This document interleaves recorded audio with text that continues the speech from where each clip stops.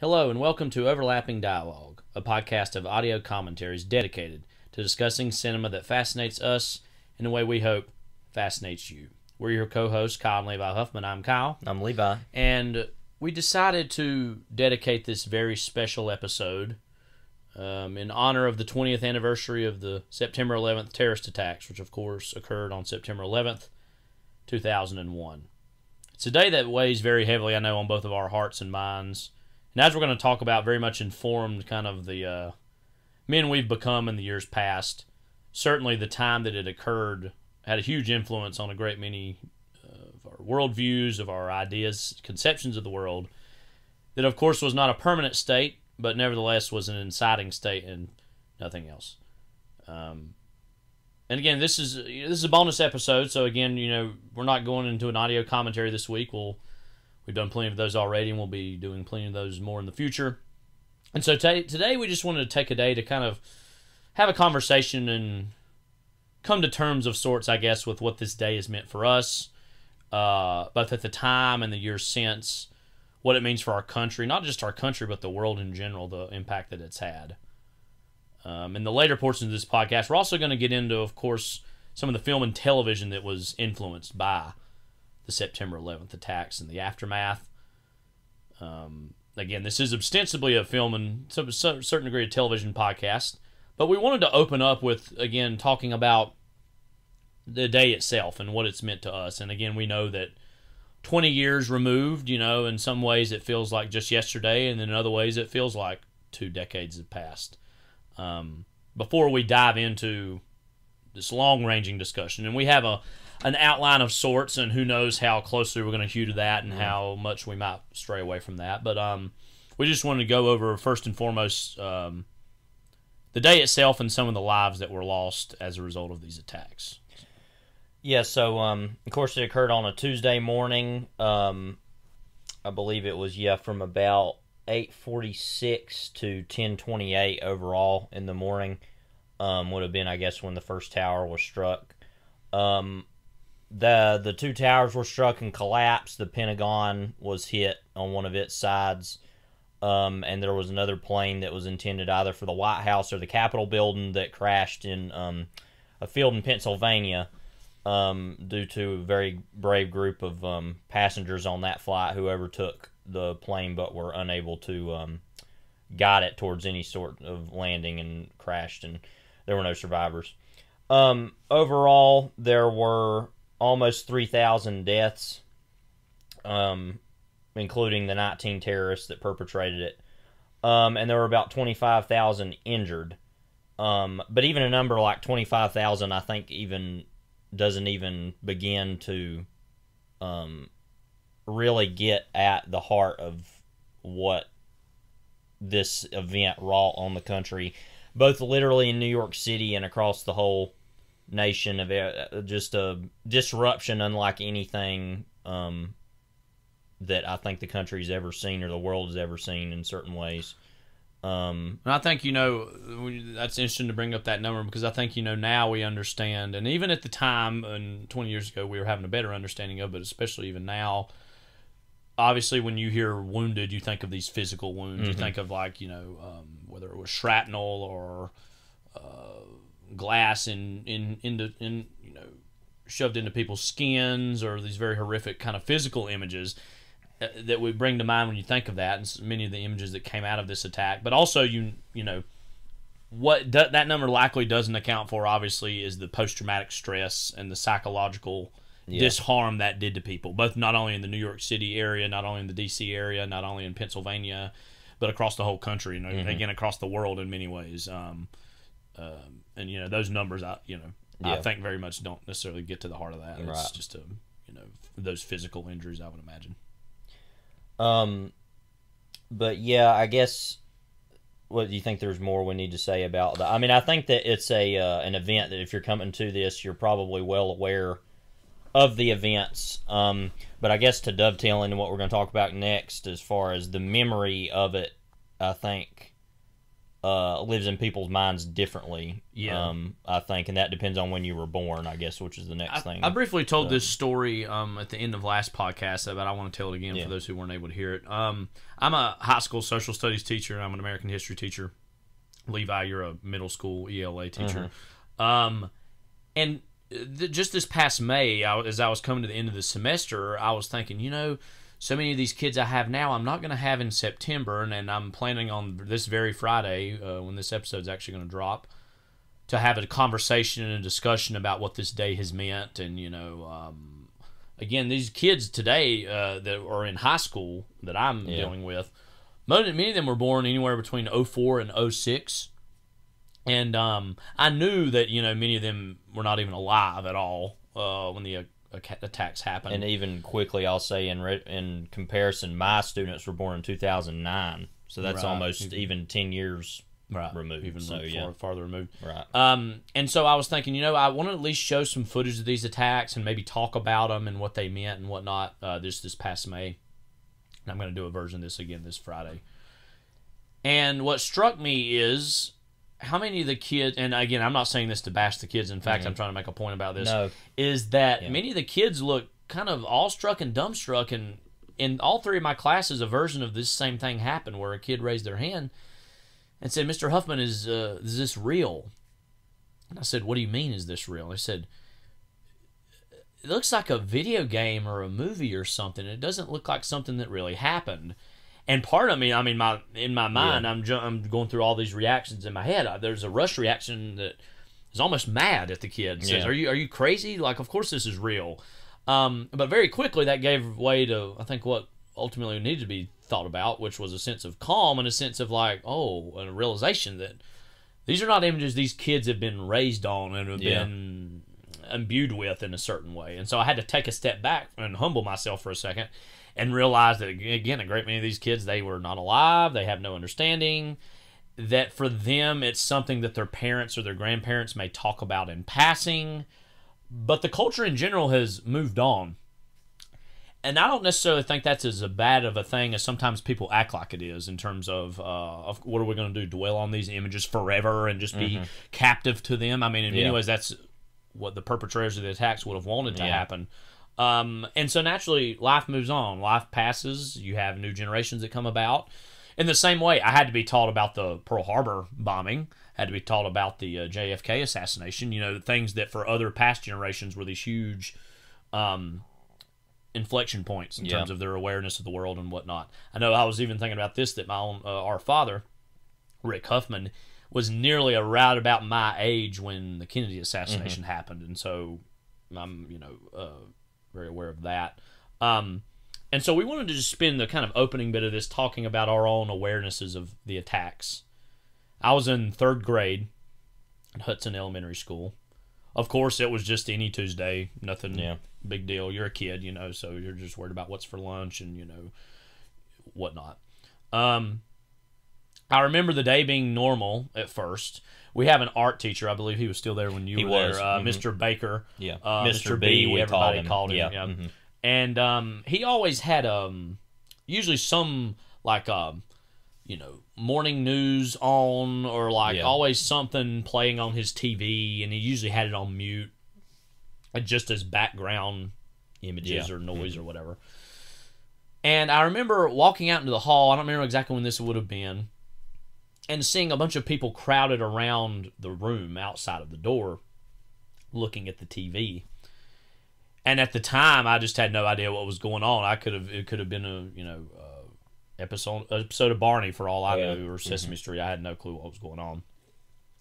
And I'd learned later, I believe, that the there were some fourth or fifth graders that were in there at the time, and that I'd heard also secondhand. I don't know how true this is that they had been told not to tell some of the younger kids in the building what had happened and what they had seen. Again, I was in third grade at the time, and I remember at the end of that day, um, our grandmother, uh, Irene Huffman, picked me up always from Hudson Elementary School.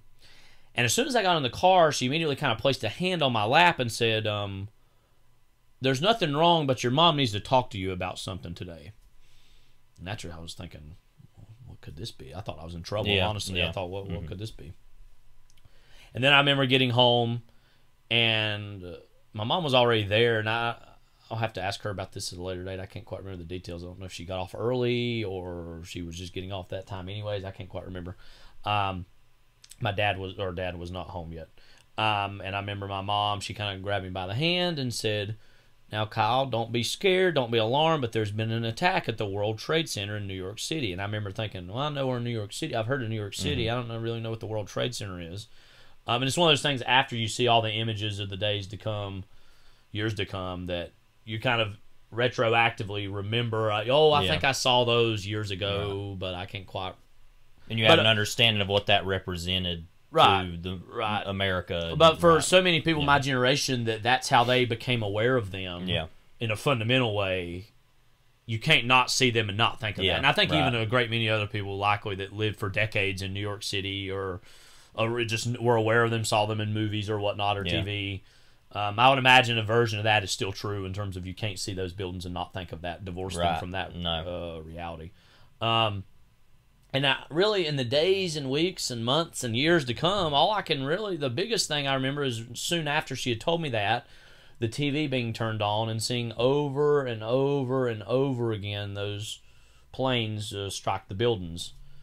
Um, even less so did I see the Pentagon attacks, and there was no footage, of course, of sorts of No. the uh, United 93 flight crashing because there was no one there. It was just kind of this anonymous field in Pennsylvania where that happened. I remember seeing the wreckage there, Mm-hmm. but nothing of the actual strike itself. Um, so again, for me, it was just on a deeper level as well. Um, uh, of course, as a kid, you're like, who who would have done this? What what what was behind this? And you're told, well, these terrorists, these uh, Islamic uh, fundamentalist terrorists from uh, these other parts of the world that you never heard of. You a place like Afghanistan, it sounds like And they were uh, trained they- in Yemen, I think, or Yeah. something like that. Yeah, but you just hear about these places you've never heard about. Uh, All of a sudden, most of them are from this place called Saudi Arabia, and you're like, "What is that?" And Yeah. You hear about a place called Afghanistan, and you Then uh, Iraq and you see a little thing called Iraq on the Yeah. uh, there, and then people talk about this place called Iran, and so. What's unfortunate is, and this would have happened inevitably in some roundabout way, but my whole generation's uh, cultural memory of understanding the world in a fundamental Yeah. way was shaped by this. Because I try to also think back a lot about retroactively. I'm like, okay, what was my conception of the world prior to this? You know, of course, you see globes growing up in schools, but you don't, you know, you don't really understand even within the United States how big the United Yeah. States is. You're like, oh, New York City's here and Florida's here, and I think by that point I had been to Florida in the or late '90s, um, you know, Disney World. Um, and so that is just your whole introduction to the world and um, all you know the continents itself north south america what the middle east is what europe is what africa is what asia is my whole generation's conception and yours as well of the world was informed by understanding where these certain places are. That this is where quote the enemy lives or this is where quote those who perpetrated these attacks are from. And so obviously of coming of age in many ways is about uh, understanding some of the ways in which those facts you've been told are true and the ways of which they're faulty. Uh, sometimes i think uh, due to benign mistakes Yeah. other times because of very clear uh, obfuscation of uh, information or of ideology What's when you what comes to mind when you think about your whole conception or understanding of what these attacks meant at your young age? You, now, let me just also say, I was born in 1992. I was just a few weeks short of being nine years old in third grade at Hudson Elementary School. You would have been just have passed your third birthday by this point. What do you what comes to mind when you think about this time? Well, of course, I have no memory um, of the attacks in the moment. That's something I've just that I have never had any memory of. I think part of it is because I was so young, and also it was probably hidden from me far more um, as an event. But what I remember so much about my childhood is the war on terror, and for like you said, inform my whole worldview. That thankfully I've worked my mind out of. Not that all of those, like you said, assumptions were negative, uh, but it's just a way of viewing the world that um, relies exclusively on fear and um, and even at a young age, I felt like I understood that at a certain point. But what's so strange about growing up after the events of 9/11 is obviously never understanding what any of it meant. Um, and I remember very directly the uh, the election of 2004 Yeah. um, between George Bush and John Kerry, that being my first presidential election, I remember. Um, and knowing that the Iraq War was a thing, um, and I remember Saddam Hussein's death. Um, I remember more than anything, uh, really, when fifth grade was when, uh, in 2008, when uh, gas prices went really high because of the troop surge that had happened in Iraq. In 07 Um, yeah. yeah. and that um, I remember it got up to five dollars a gallon. I had this very. Def- I'm going to get back to 9/11 Yeah. in a moment, but I'm kind of trying Yeah. to trace all these things in my mind that. Uh, I remember sitting on the bus at Hudson Elementary School, and my bus, my bus driver, and a bus driver beside of them, beside of us, talking about how high gas prices were getting. And I was like, okay, well, and it was, I think it got up to around five dollars a gallon. I think I don't remember the exact number, but it was really high, which makes me think, and this is kind of a, going off in a tangent about gas prices when people complain about them, which is Yeah. something that a lot of people do. Uh, that I always, there's always this gut reaction trigger in my mind that says, well, they'll never be like 2008 with five, well, or I, they won't, not that they'll never be, but it's not like 2008 when it was five dollars a gallon. Another thing too about So- 2008, obviously, that was in the midst of the housing crisis Yeah. and the and the the Great Recession was and all thing. that, Yeah. yeah. so there was a lot of stuff going on. That's what I remember most about that era. Frankly, is when I was coming more of age and beginning to even minorly understand these things. Um, the housing crisis was a little bit different because th- and I say this with total fortunate, you know that that was something we didn't have to deal with as a family that I know a lot of other people did, and Yeah. uh, but that that's something that never made a total amount of sense to me either. But now it does, and I and I see that now as really terrible. And in the moment, I kind of understood, you know, that the economy was bad, but. But anyway, to say all this is just, I guess, is to say all these things were made totally normal for me. Um, it really took until only really about two years ago um, when I was doing my student teaching, my uh, partnership teacher was show. It was actually around 9/11, and he was showing this documentary about, uh, which is kind of famous. I think it just showed you said on CNN last night. Interestingly, uh, about those French filmmakers that were documenting a rookie firefighter in New York City, and they happened to be filming the day that it happened, and they captured all this footage that is really Some of uh, which I know. I- Um, I didn't start watching it last night. I've always heard Yeah. about this documentary. Um, that they even have footage from within the towers. Yes, they which do. Was, they went um, in and they got out in time. They Yeah. kind of rescued some and there's part and- of me that wanted to step and watch it, but then another part of me wasn't sure if I was even ready to see that, Yeah. frankly. And so, And so, So yeah, that's didn't. what I was gonna say about it is that it took me honestly until that moment.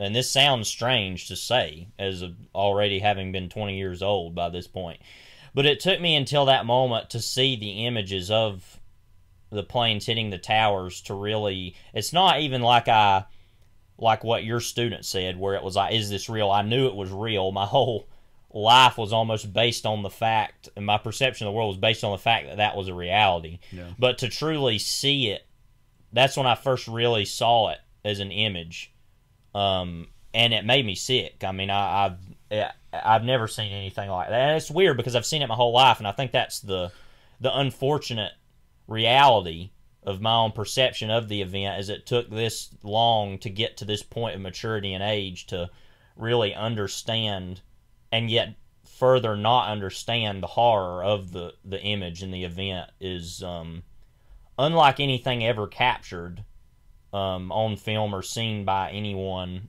um, is that uh, level of mass murder on such a high scale that goes even beyond uh, seeing war take place because it's typically obviously not to do with civilian lives. Not that that makes any difference, but of civilian or military lives, but that it's just something that is so unnatural um, and foreign to human understanding that it boggles the mind in a way that it never had until about two years ago for me.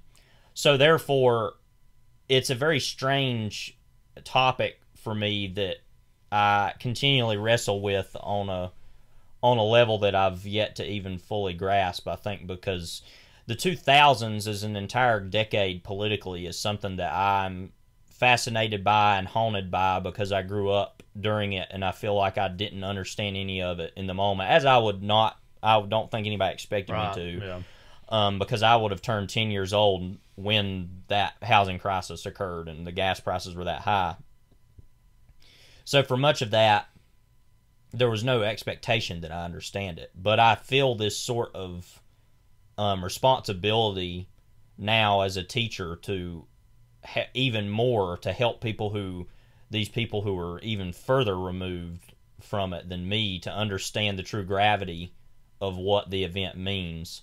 Um, so I know that was kind of a rambling No, yeah, explanation no, of that- that, yeah. but it it represents something that goes beyond politics and and religion. Even it it, it approaches a question over humanity that I don't think we're ever going to be able to answer of how these things can happen and why.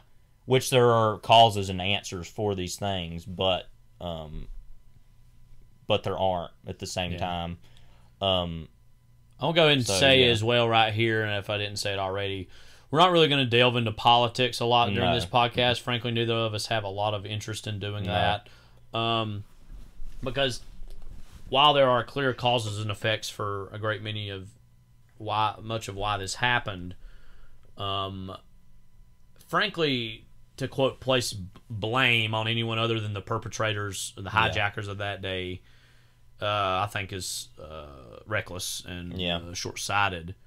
So when I so some of the things we're about to talk about understand that that we're not trying to get political. We're trying to just illustrate our own um, evolution of our ideas Yeah. in many ways. because events such as this, like what I was kind of saying, go beyond the pale of human understanding of how and what would possess human beings to do something this drastic and rash and destructive.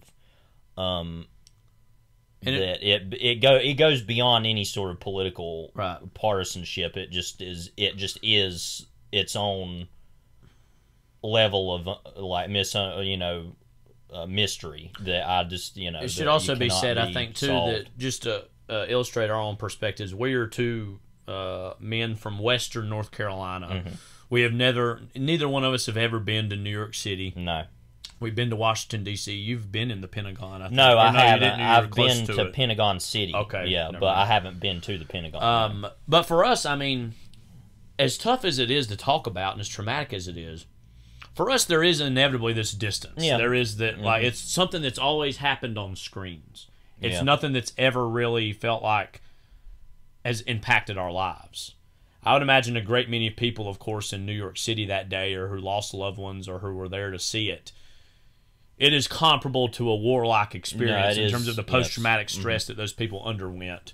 And so also understand that we are people who are not directly impacted by these things. We're people who have seen these things from afar and can't help but have some observations Yeah. on them, but nevertheless there is this distance and there is this remove that we naturally have which is that. what, and I won't get into this, but which is what frustrates me so much about trutherism is because I find it to be so disrespectful of people who stood there and watched it happen and people who survived and especially those who lost their lives that for that to happen for them to have these opinions in quotes about or what they call facts about these things is another level of you know stupidity frankly but anyway that's as political as i'll get about this but Um, and this isn't, I don't think, that tough or radical to say that we're raised in a more conservative area. Uh, and so much of the immediate aftermath of those events and the years that followed was naturally an adoption of an us versus them mentality.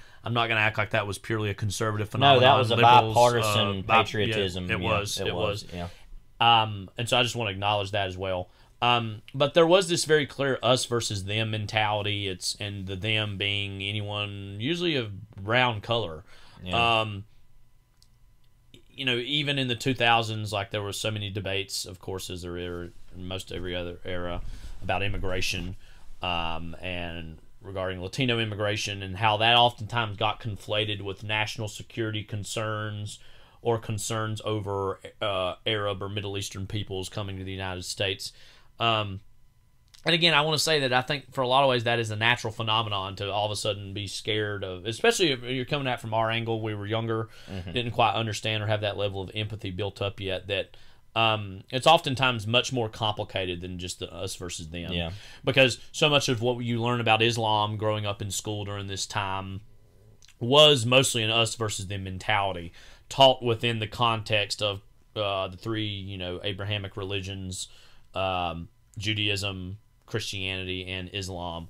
Um, and the older you get, you start to see that there are definitely clear umbrella connections. There are clear Venn diagrams of similarities they share, but there are also certainly differences each of those share as well. Um, and another thing too, and uh, you know, in a weird way, about the 10 year anniversary of when this happened, of course, in 2011, wasn't in many ways a big personal moment for me, a big moment, uh, in terms of that's when I graduated high school. Um, and I remember distinctly as well my very freshman year in college in UNC Wilmington, going o- going to Wilmington, um, and they got us all the students together for like a, um, on the anniversary of September 11th. I don't remember what day that would have been. It would have been only a few weeks into my freshman year Yeah. to create like a 9/11 standing, you know, Yeah. uh, picture they took Right. kind of in honor of it. And and I was kind of a little iffy about that and didn't go actually. Um, I don't believe because I was around that time thinking, is that uh, exploitive or I, I just wasn't quite sure Yeah. if I wanted to be a part of that. Um, and it was in college, and I never became really close friends with necessarily any people of the Islamic faith or, um, you know, I, I didn't become Yeah. close friends with anybody was that. But I did start to meet some people Mhm. And did start to, you know, gr- gain a greater understanding that, oh, wait a minute, like this whole thing I've been told that all these, you know, the people who uh, worship the Islamic faith are all the same thing is far more complicated. And then you get to realizing that it's not all that different from Christianity in the se- sense of all the sects that exist Yeah. and all the differing opinions that exist. Um, and then ultimately, that's the value of education. The value Yeah. of education is you thinking the world is this big, and when I say this big, I'm like very small circle in my Mm-hmm. hands, to realizing it's much larger and bigger than you and your own understandings of it. Um, and it would seem as though, I think, as we're going to talk about here in a little bit, that America on the whole did not reach that same level of enlightenment in the sense of seeing that maybe even, and when I say understanding or rationalizing these attacks, I'm not saying making excuses for these attacks one bit, but I'm saying understanding why people would have the views that they do to hold these views against America. Um, I say this as I'm wearing an uh, uh, Old Navy American flag shirt from 2015. Um, feel as though my own patriotism isn't under question or shouldn't be, or who cares if it is? That's uh, people's own rights to question that, I suppose. But the fact that we still we need to be a little bit more critical in understanding why this happened and why people would feel like this is uh, something that's possible to happen, right? Um, so for you, when we're talking about like coming of age up to a certain point in this world, what evolutions maybe in your own understandings or lack of evolutions you've seen in the culture do you observe kind of in Well, for my own self. I kind of hit on this already, but uh, the normalization of violence um, Mm-hmm. on television in movies. I mean, that, and that's already been something people have been complaining about forever. I mean, with video games especially. I mean, people think people thought this in the 2000s. They've been thinking this since the 80s. I mean, about violence in video games or violence in movies could even be sent all the way back to the Hays Code. I mean, Yeah. you know, but uh, more so even than that, I'm not even going to touch any of that necessarily. But the normalization of violence on television, um, in the news, One, one thing, Uh, let me just yeah, interrupt you very briefly. I forgot is when the uh, invasion of Iraq in 2003, which was of, uh, of course entered into under false pretenses.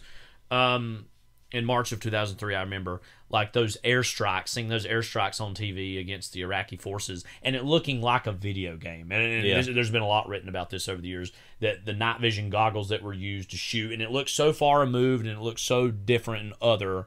Um, it would seem as though the military and the media both learned that that up close and personal uh, nature in which Vietnam was portrayed on television was something they wanted to move away from and not really show that level. they had done that with the or- Gulf War too, Yeah. um, about Same ten thing. years before. Yeah, But yeah, um, just uh, seeing the Iraq War play out on TV and uh, just oh, you know, this is a normal thing. I mean, I remember seeing stuff on TV uh, about is something you remember this? is something we honestly used to chuckle about when we were younger. Now I look at it in in horror that there was some thing on the History Channel um, that was like talking about these, you know, soldiers that uh, I don't remember what the whole deal was, but basically it was that the documentary thing about them going to their armory, which they called the candy store. You Yeah. remember that? Yeah, yeah. And and uh, thinking that was just so absurd. Even then, I laugh. But now I look at that and I see that as this conflation of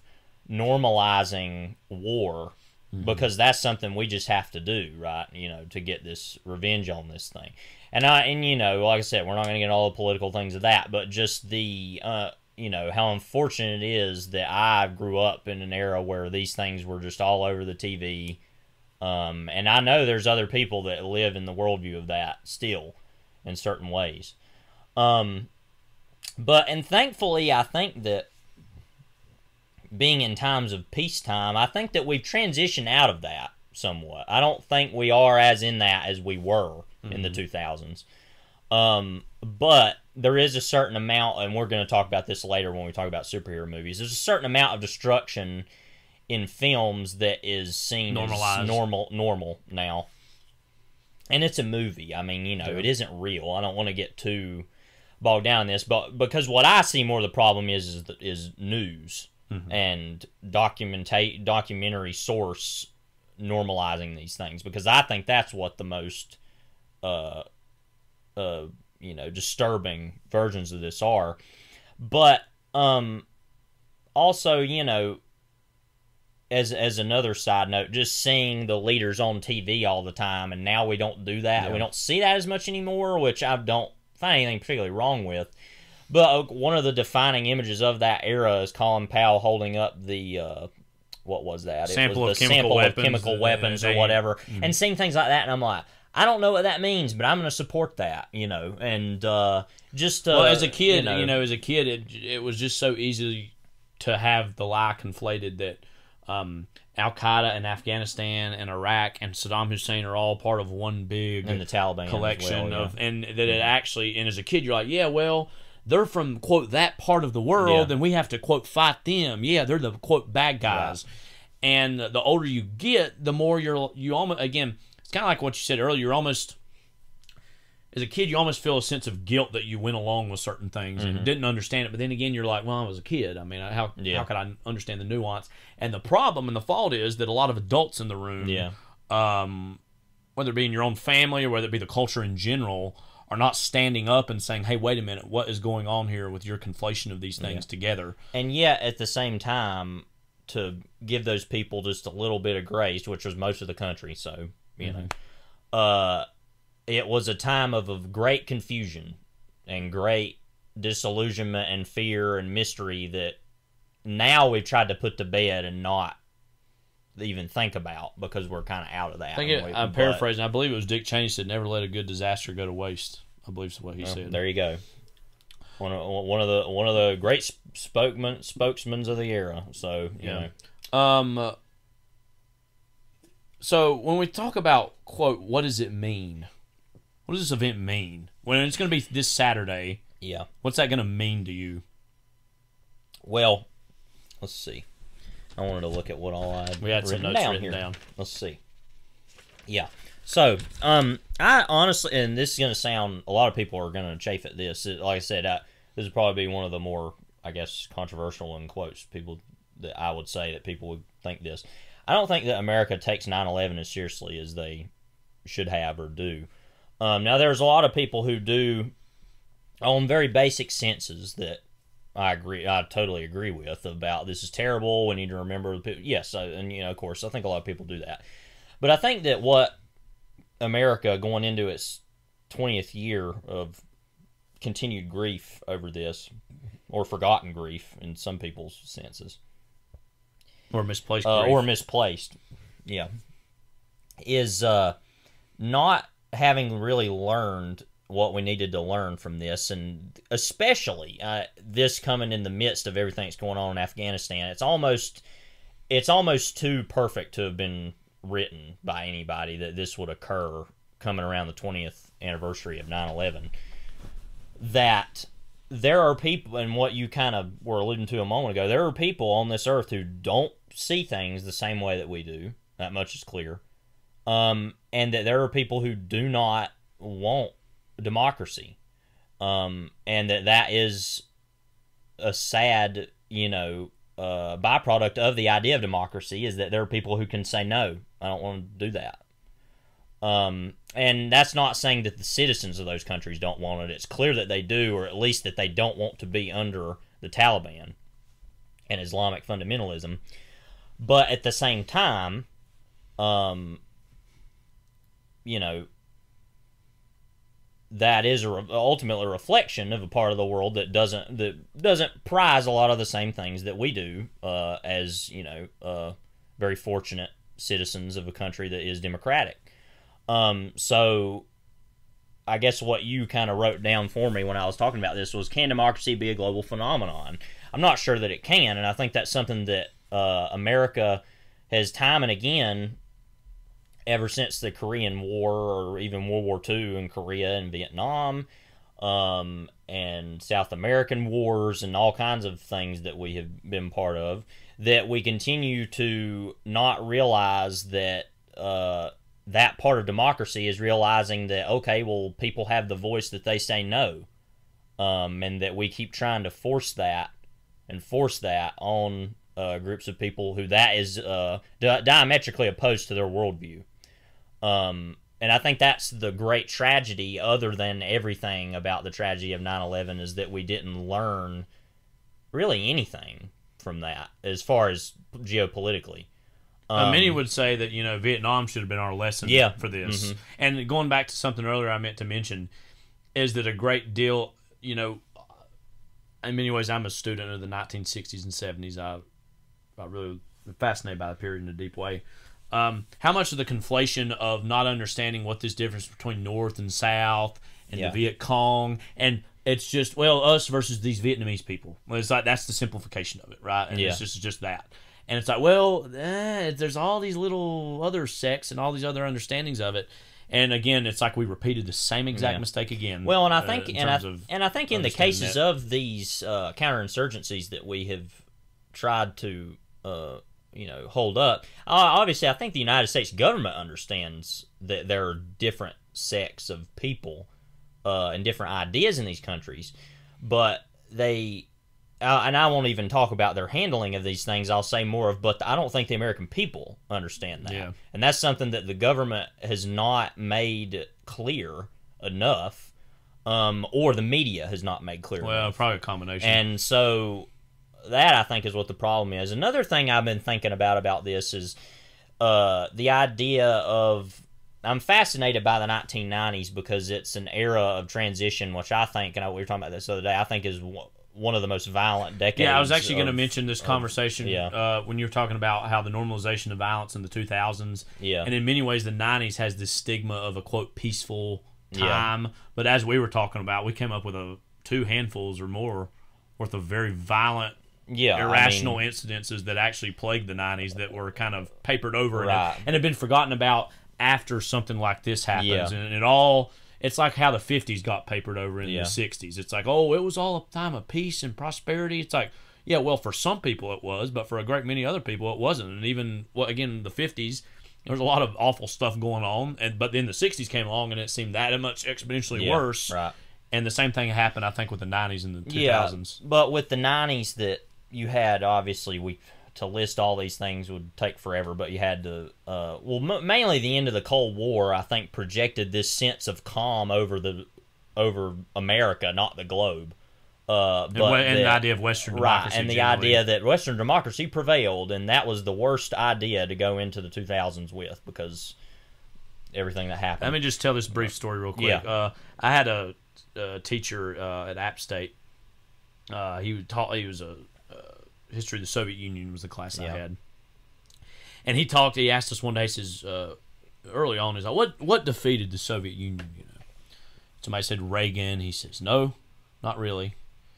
And somebody says, "Well, uh, what about Star Wars and spending you know all this money on military?" He says, "Well, maybe kind of that." And people threw out this or that, and ultimately he said it was Levi's jeans. It was Coke. They weren't talking about Pepsi. mine. It was McDonald's. He was saying basically that back in his day when he was growing up in the like the uh, like mid to late seventies, early eighties, when he was really coming of age, that like on the black market they would be trading Levi's jeans, and they and some of them were counterfeit. Yeah. It was about trying to suss out which ones were, and that ultimately, you know, yeah, we quote won the Cold War, but in many ways it was this version of neoliberalism. It was this version of capitalism that won the Cold War. Yeah. That yeah, sure, Reagan plays a role in, but is part of a decade spanning public relations campaign that in, you know, yeah, sure, the nukes, yes, sure, uh, Tomahawk cruise missiles, yes, sure, M1 Abrams tanks, but also Levi's jeans, but also McDonald's. That's ultimately the And those what, are things uh, that kind of papered Marxism over. cannot provide. Yeah. Um, so yeah, the collapse of the Soviet Union ultimately is due to its own self and Yeah. and the uh, mismanagement, but Yeah. also the appeal of and the West appeal was, of yeah. Westernism. Yes. So so in that sense, uh, everybody remembers the '90s, like you said, at a time of peace. But you had uh, Somalia, Mm-hmm. uh, genocides in Rwanda and Bosnia.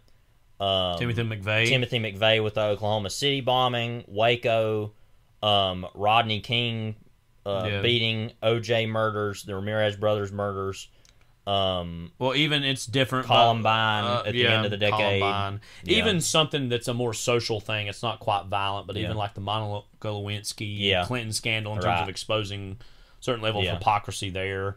Um, uh, but oh, it was great. The night, you know, for me, it was the decade of the Rugrats or Rugrats, Yeah. and it was the decade of Yeah. you know Batman Forever, and Mhm. like. You know, as a kid, you and I was actually thinking about this. I think I, as a kid, like late '90s, early 2000s, I had a vague memory of hearing about the Lewinsky stuff. Um, I do actually kind of remember Florida and the, the 2000 election Mhm. and all that.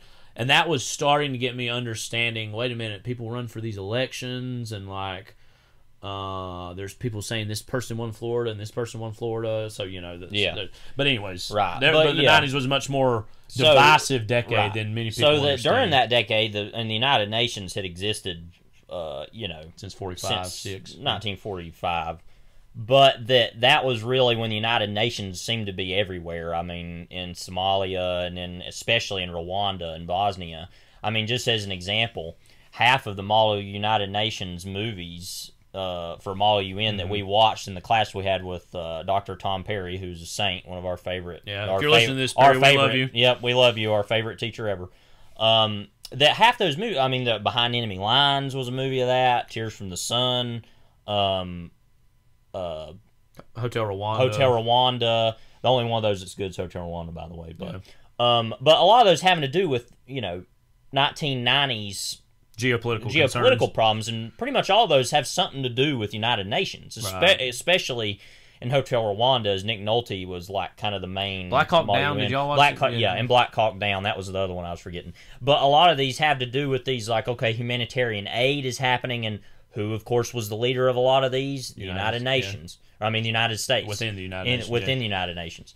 Um, And, and, uh, and it's on, in and of itself, the United Nations was a body or an arm of the U.S. to work out this Western. except for the fact that during Rwanda, the Rwanda genocide, that uh, Bill Clinton was wary of dealing with such a thing because of what had happened with Somalia. Yeah. So that was a little bit more of a Britain and Canadian led yeah, United Nations effort. But um, that this was seen as this time of okay, we're, but we're gonna. I mean, everything is collapsing in the '90s, especially in Eastern Europe. Was uh, and I think a movie that really, by the way, hits on a lot of this was 71 Fragments of a Chronology of Chance, the Michael Haneke film, uh, being in Europe in the 90s and really thinking about a lot of these things. Um, but because it's not expressly about that, it's about a mass shooting. Um, that's another interesting movie that I want to bring up now before we get talking about movies later. That I think's a pre 9 11 movie that kind of explores a lot of these things that isn't at all about a lot of that stuff. Um, but that, but that anyway, it it with that, and then of course the uh, you know the war on terror, this sense of that uh, democracy can fix everything, and we're just going to keep going in and doing these things. The United Nations is a very integral, important um, organization that honestly I wish got more attention and did and was able to do more work. Yeah. Um, but um, It's a great But- idea, but it also cuts through the heart of what's the difference between upholding universal human rights and state sovereignty, which is a question the U.S. Mm-hmm. Right. has been dealing because with this entire because time. a lot I of mean, these nations that we're talking about do not support universal human rights. That's not something that they uh, want to do. And what's the So- well, and again, I don't I don't have an answer for this. This is a rhetorical question. What's the line between respecting someone's culture and saying that's wrong? Right. And that's of what they ultimately the question we're dealing with with Afghanistan Yeah. right now that we've dealt with forever. So that's basically what I I guess have to say about what it means. That seems like a lot, but just to boil it back down is what what is democracy when when it can't solve everything Yeah. and people don't want it. And I think that's the thing that Whether we, We- what we were doing before 9/11, Right. but also what we've done with nation building since Yeah. 9/11. and that uh, that's something we've never dealt with on, uh, especially on a citizenry level. Uh, that I don't think that people understand the nuance of that, and that, like I said, I think is more of a fault by anyone than the media and the government itself. I don't think that's the fault of the American people so much as uh, the media, the media and the government. And everybody talks bad about the media and the government all the time, so I'm not trying to do that either because I get tired of hearing that too. But uh, I mean, Yeah. there it is. So Yeah, um, like you, I'm also very fascinated by the '90s. Of course, we were both children of the '90s on our way. On way, I was born in '92. You were born in '98, um, and like what we were talking about the other day about all these crises within the '90s that kind of got papered over after the events of 9/11, as if they had in no way were telling us something psychically or in the you know I know the zeitgeist is a tricky term, but trying to communicate something to us that we weren't maybe quite paying attention to or understanding. I don't know, um, but that um, one thing I'm very fascinated by by the '90s when you look back look back at a lot of the art and entertainment of that time period, and this wasn't in everything obviously, but in certain strands of things. This grappling with the end of the millennium, the end of oh, what's what does it mean when we're going to see the clock struck two zero zero zero? Like, is that going to yeah, lead to some fundamental change in our ideas or our thoughts or whatever. You can see this in a great many movies. Um, Until the End of the World, it's one of our favorites. Um, something like uh, Infinite Jest, I think, deals with some of these questions. Uh, Mao II, that we're going to be talking. We're going to bring up the author of that, Don DeLillo, a little later towards the end of this. Um, there's a lot of just you can see it from the intellectual class of people uh, at this time really grappling with okay this quote cold war is over. What's next? What's the next step? How do we move on from this? Right? Um, even in some way i think Vineland by thomas pynchon's a version of this although it's set principally in the 80s um, okay what's next? What's the next step how does it what does it mean for america to be the quote sole superpower in the world? And is even such a thing possible? And you know this whole notion of you know uh, neoliberalism the fact that okay now that the cold war is finished and now that we put the soviet union in the ash sheets of history now we can free trade we can globalize in the ways that we want. And that's everybody's going to love that. Everybody's going to love this globalization and everybody's just going to eat it up again naturally globalization in a great many parts of the world um, damages the power structures in which create sympathizers of groups like Al Qaeda, like groups of Islamic terrorism. When they see their own power being threatened, um, their natural response is to form some sort of a coalition against what they see as the might of Western imperialism. Um, and again, I think that's something that it's just we just see the us versus them. And again, I am not making an, any kind of excuse for the death of thousands of innocent lives. Okay, um, but we need to understand how and why people may react that way because you don't totally truly understand your quote enemy unless you understand the perspective in which they're coming at you with. If they're just clearly just a blank face and they just have an AK-47, then you're not going to really understand who they're doing this for and why they're doing it. Now, it totally feels like I'm switching gears here, but I promise you this will connect. Um, a movie that I've been thinking about a lot, and I've only seen it a handful of times, and it's something that you recently saw for the Yeah. first time, so it'll be a chance for us to talk about it a little bit here on the pod. Um, is A Few Good Men of all things. Now, A Few Good Men came out in you know the early to mid 90s, 92, 92, yeah. Yeah. Uh, and you know that movie was a cultural phenomenon, of course, based on Aaron Sorkin's own play play of the same name, and he wrote the script, and also Rob Reiner directed. Stars, of course, Tom Cruise, Jack Nicholson, Demi Moore. A seemingly disconnected courtroom drama from some of the things we're talking about. But the more and more I think about that movie, the more and more I go and you know go back and watch scenes from it or watch it again beautifully on 4K as it was recently restored. Um, I can't help but see the metaphor of actually what it's about. And I think if we're going to understand what leads to 9/11, we have to understand the discourse, what was before that, trying to give us a view into okay, what exactly is the conversation? What's the discourse? What's being said? And very famously, the end of A Few Good Men deals, of course, with Tom Cruise browbeating uh, Colonel Jessep, played by Jack Nicholson, who is alleged to have ordered a code red, which was basically a discipline of an discipline of a uh, a private, I believe, at Guantanamo Bay, and that's an interesting thing to bring up here too. With this is that it takes place in Guantanamo Bay in the early '90s um, to discipline this uh, soldier, and it accidentally led to his death. Um, and this whole question of, well, actually, one of the guys that he was going to inform on, uh, the Santiago who was killed, in reality, inadvertently, I believe, shot into Cuban territory, and that could provoke such an act of war that such a person needed to be put down to quote preserve freedom. And again, this feels probably to some so disconnected from 9/11 or like how does this rea- relate? Yeah. But you see in Jessep the distillation of a military industrial complex and establishment that above all else prizes safety and security over personal uh, accountability, responsibility, liberalism. And I'm not talking about the liberalism of liberals versus conservatives. I'm talking about the idea of the United States as a globally liberal nation mm-hmm. in terms of it offering liberal democracy, right? Something that, again, Republicans and Democrats, I believe, would agree is something they want to see around the world. And so, you know, you see the agitation of Jessep building up very famously in that scene, and of course he finally explodes and admits, yes, you know what, I did order this to preserve this freedom and whatever. And the movie paints Jessep, I think, justifiably so, as a quote the villain Yeah. of the piece as he is. But I also don't think the movie, and I think the movie, the narrative, uh, and Sorkin understand this, totally come up with a rebuttal to what his response is at the end. That you want me on that wall, you need me on that wall, you want people like me to defend this nation, yet you want to decry our methods, right?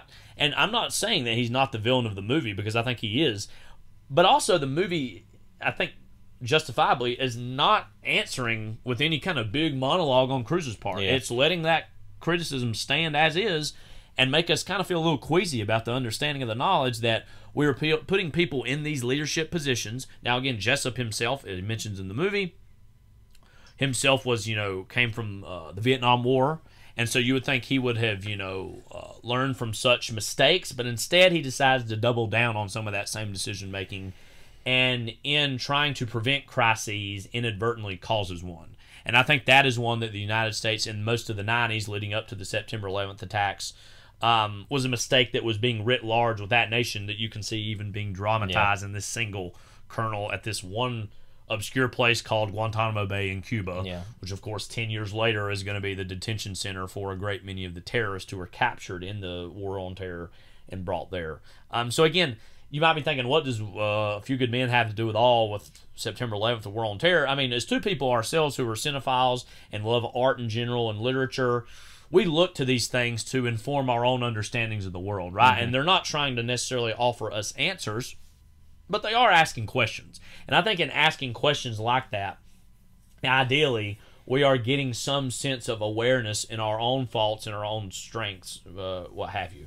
Um, the movie doesn't necessarily end on this hopeless note. In fact, it ends with um, I can't remember that the guy's name, the guy who was kind of the one who killed, main guy Yeah. who killed Santiago, of him being very disgraced and embarrassed that his identity as a Marine is now going to lead to his dishonorable discharge. Something that he held so much identity in was this being a Marine serving his country. And that, you know, Cruise inevitably kind of says to him, I'm paraphrasing here because I can't quote Sorkin's brilliant dialogue back to you verbatim exactly here, but something along the lines of, you don't need stripes on your arms to prove that you're a man of honor or a man of dignity or whatever. Um, so, and no, if nothing else, I think that's an illustration that we can learn from our mistakes and we can choose to turn the page.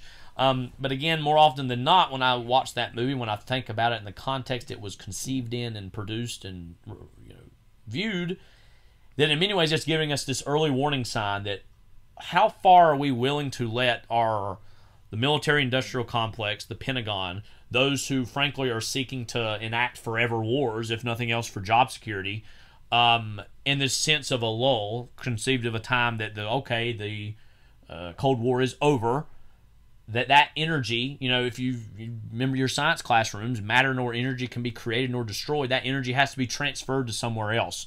And for so long, that energy was transferred to shores that we had no idea what was going on over there.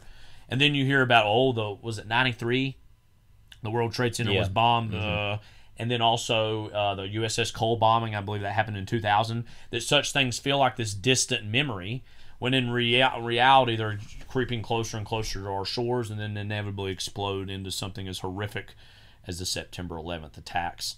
So that's a movie randomly I find to be, if not exactly therapeutic, enlightening when it comes Yeah. to trying to understand some of these systems of power here in the United States. And that's frankly all I can do. I can only really truly criticize the United States in this because frankly the other culture is one in some ways I don't understand. Yeah. Um, I can get some understandings of, but ultimately it's not my culture, right? Um, and so I think some people would cha- chafe at the aspect. Why are you criticizing America in some instances? Again, there's a, you know, I'm the sap that when the Pledge of Allegiance plays every morning, I put my hand over my heart and I say the words out loud. And I'm someone who believes that creed. Yeah. But how can you truly love something without being a little bit critical of it? Um, and that doesn't take away from all from the heroes and the ones who lost their lives that day. But we need to understand and grapple with how does something like this happen, and are there self reflections we can make to prevent something else like this from happening? Something else I uh, said here as well is what happens when the reaction is worse than the event. You see this with the Iraq War. One of the most enduring images to me of Vice, a movie we'll talk about later, is the scene where George W. Bush, played by Sam Rockwell in that movie, is tapping his foot as he's giving a speech nervous, uh, yeah. about uh, we're going to invade Iraq. and- Iraq. Yeah. and then it juxtaposes or cuts to some anonymous Iraqi father who's kind of uh, holding his children in his arms as, Under the uh, table, under the yeah. table, and he's doing the same foot reaction as well. And you know, um, you know, as a country, I think more and more people over the years, you start to hear people have said the Iraq War was a mistake and we shouldn't have Yeah. done it. But it still, frankly, isn't at the fever pitch it should have been Yeah. in 2003. Um, and also, you hear a lot of people say, well, you know, in the days after September 11th, you saw American flags everywhere and everyone was united and everybody was together. Um, but if it leads to something as destructive and uh, horrific as the Iraq War, um, did we really learn the lessons that we should have? Should have, right? I'm not sure that we did. Um, again, American flags everywhere, but to what end, right? And that doesn't mean that you can't have pride in your country, but also express doubt or uncertainty in what we're being told the reaction should be to these horrific attacks. Uh, there's two last things to say, and uh, I would say about this. One of which, um, there's been a lot of hand wringing, of course, in how the Afghan war in Afghanistan is being uh, resolved. You could say the end of this 20 year journey that inevitably is a loss for the United States. In many ways, we're licking our wounds and asking some of the similar questions we asked at the end of Vietnam in terms of our own stake and place in the world. Something that we've uh, observed a lot recently, of course, is the unfortunate death of 13 U.S. service members who died in a um, Suicide bombing. suicide bombing Yeah. attack in Kabul. Um, justifiably, there's been a lot of memorials and mournings over those unfortunate uh, brave souls who lost their lives in that. Yeah. Um, not nearly as much has been said about a retaliatory predator uh, drone strike that we had in Kabul that cost the lives of 10 family members of a single family. Um, ages 9, 10, 40, 20, 30, 3, 4, 2 some of the ages of some of the kids killed in that. These were innocent Afghans, by the way. These were innocent Afghans who were Yeah. killed in the quote crossfire of this. A quote from a CNN article that talks about this. Uh, they were quote an ordinary family. A brother of those who killed said, "We are not ISIS or Daesh, or and this was a family home where my brothers lived with their families." Relatives of the victims spent Monday at a Kabul hospital identifying remains and separating them into coffins. The two-year-old girls Malika and Samaya were among the names marked on the coffins. At a funeral held later in the day, family members ch- shouted "Death to America." Why wouldn't they?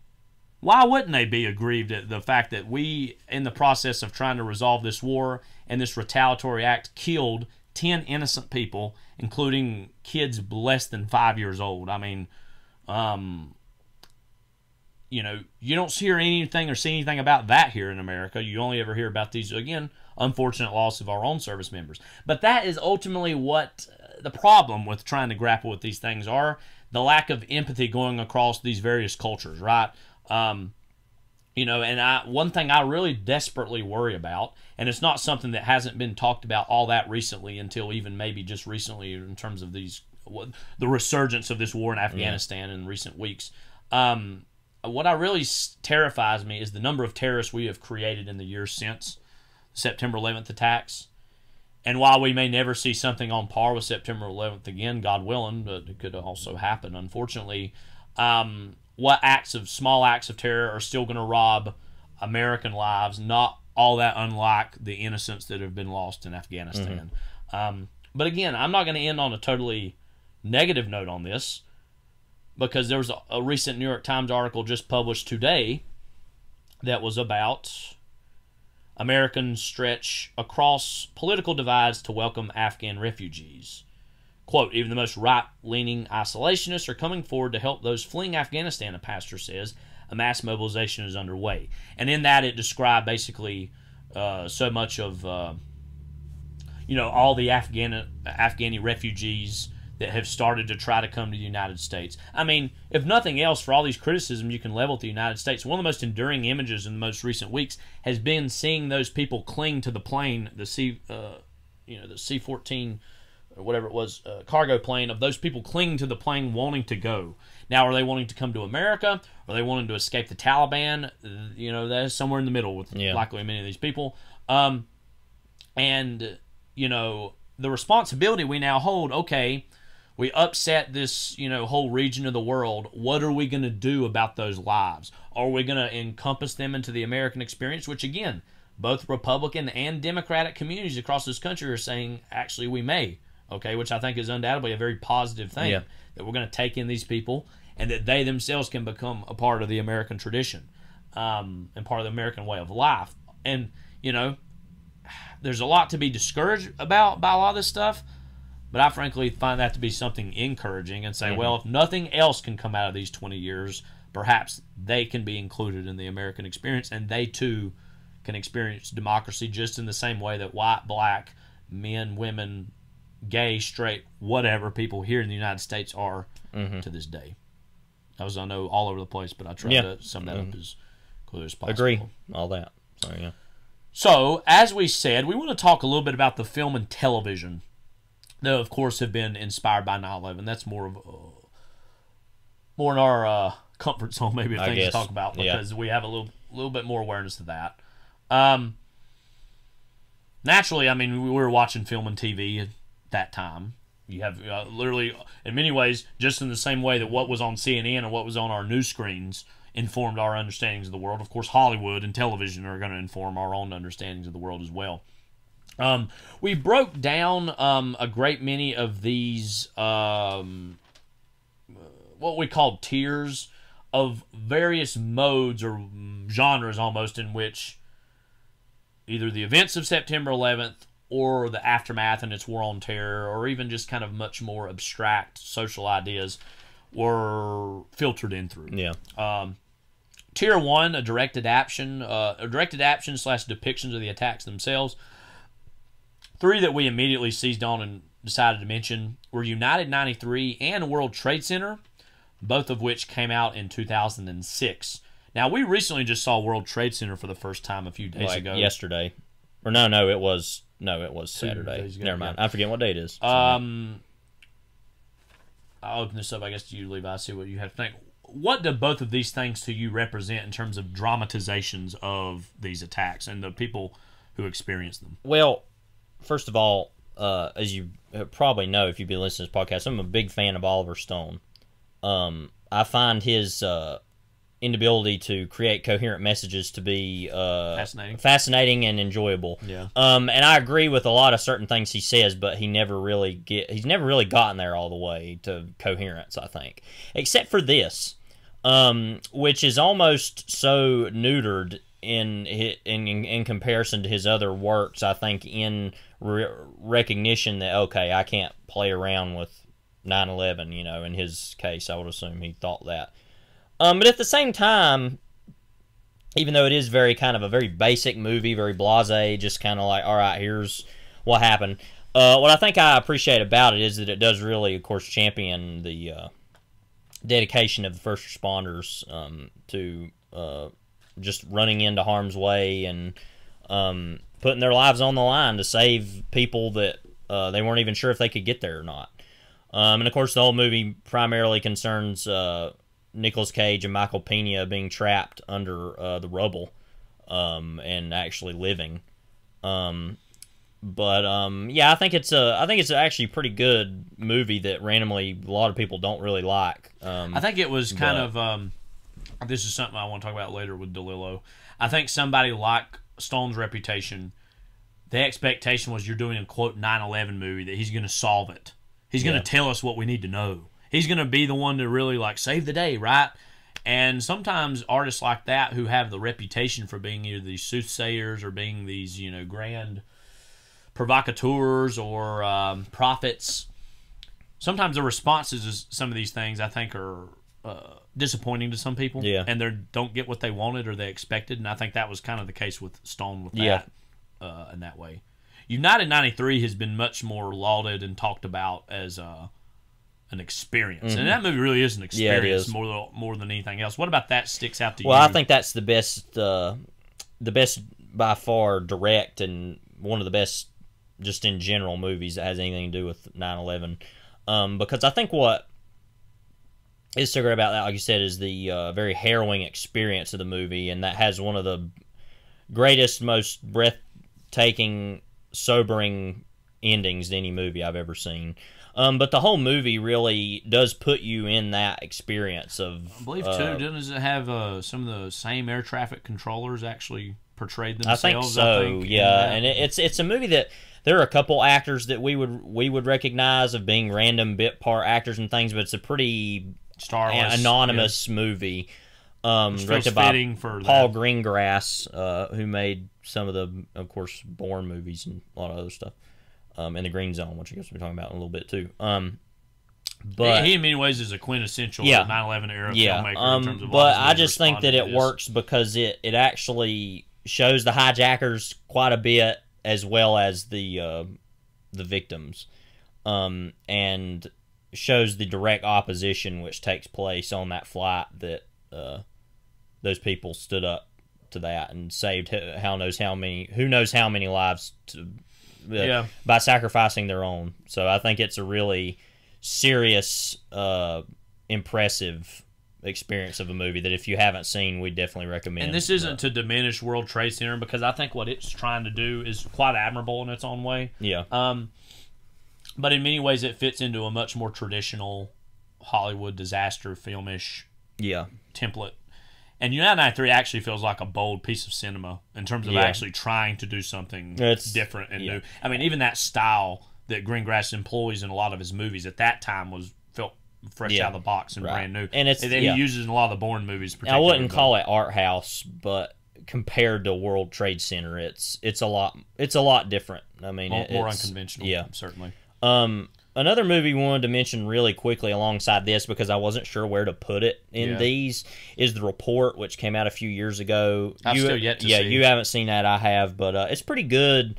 But that's of course about um trying to get the information about a lot of the uh, CIA memos about uh, torture and their use of outside parties to carry this torture out, which uh, clearly didn't work and was disproven Now- to have any efficiency. Yeah. That and it's kind of a docudrama as far as that goes because it, it is a movie, but it, it's very much a docudrama. It feels like it's almost a uh, uh, documentary in a way, uh, or reenactment. Yeah, Um, not that you know, a movie like that and the subject matter is undoubtedly important in any era. But wouldn't that movie have made so much more of an impact if it came out like 04 Yeah, or it would have, and it come out much later after yeah. the fact in 2019? Uh, well, of course, it's important to note that a lot of information was not uh, Yeah, freely given, and it took a lot. That's kind of what the whole movie's about: is them trying to get all that, suss all that out. Sure. uh, and yeah, so that's a that's a pretty good movie. I mean, it, it's it's bland in its production sense, but it it it says a lot of things about that that are important and interesting. guess it fits in loosely almost to like a journalistic movie in terms of journalism and that whole Yeah. genre of Spotlight or Yeah, like right. even uh, All the President's Men or something along those lines. Yeah. Tier two, we separated into being war slash action films that represent or depicted the war Yeah. on terror. which there's a lot of. Some roundabout way. Um, just a list of s- few of those that immediately come to mind. The Kingdom, another model UN classic of sorts. Yeah. American Sniper, The Hurt Locker, Zero Dark Thirty, both of which, of course, were directed by Kathryn Bigelow. Green Zone, Body of Lies, the Bourne movies, Man on Fire, and also even the Bond movies, uh, Yeah. the Daniel Craig era.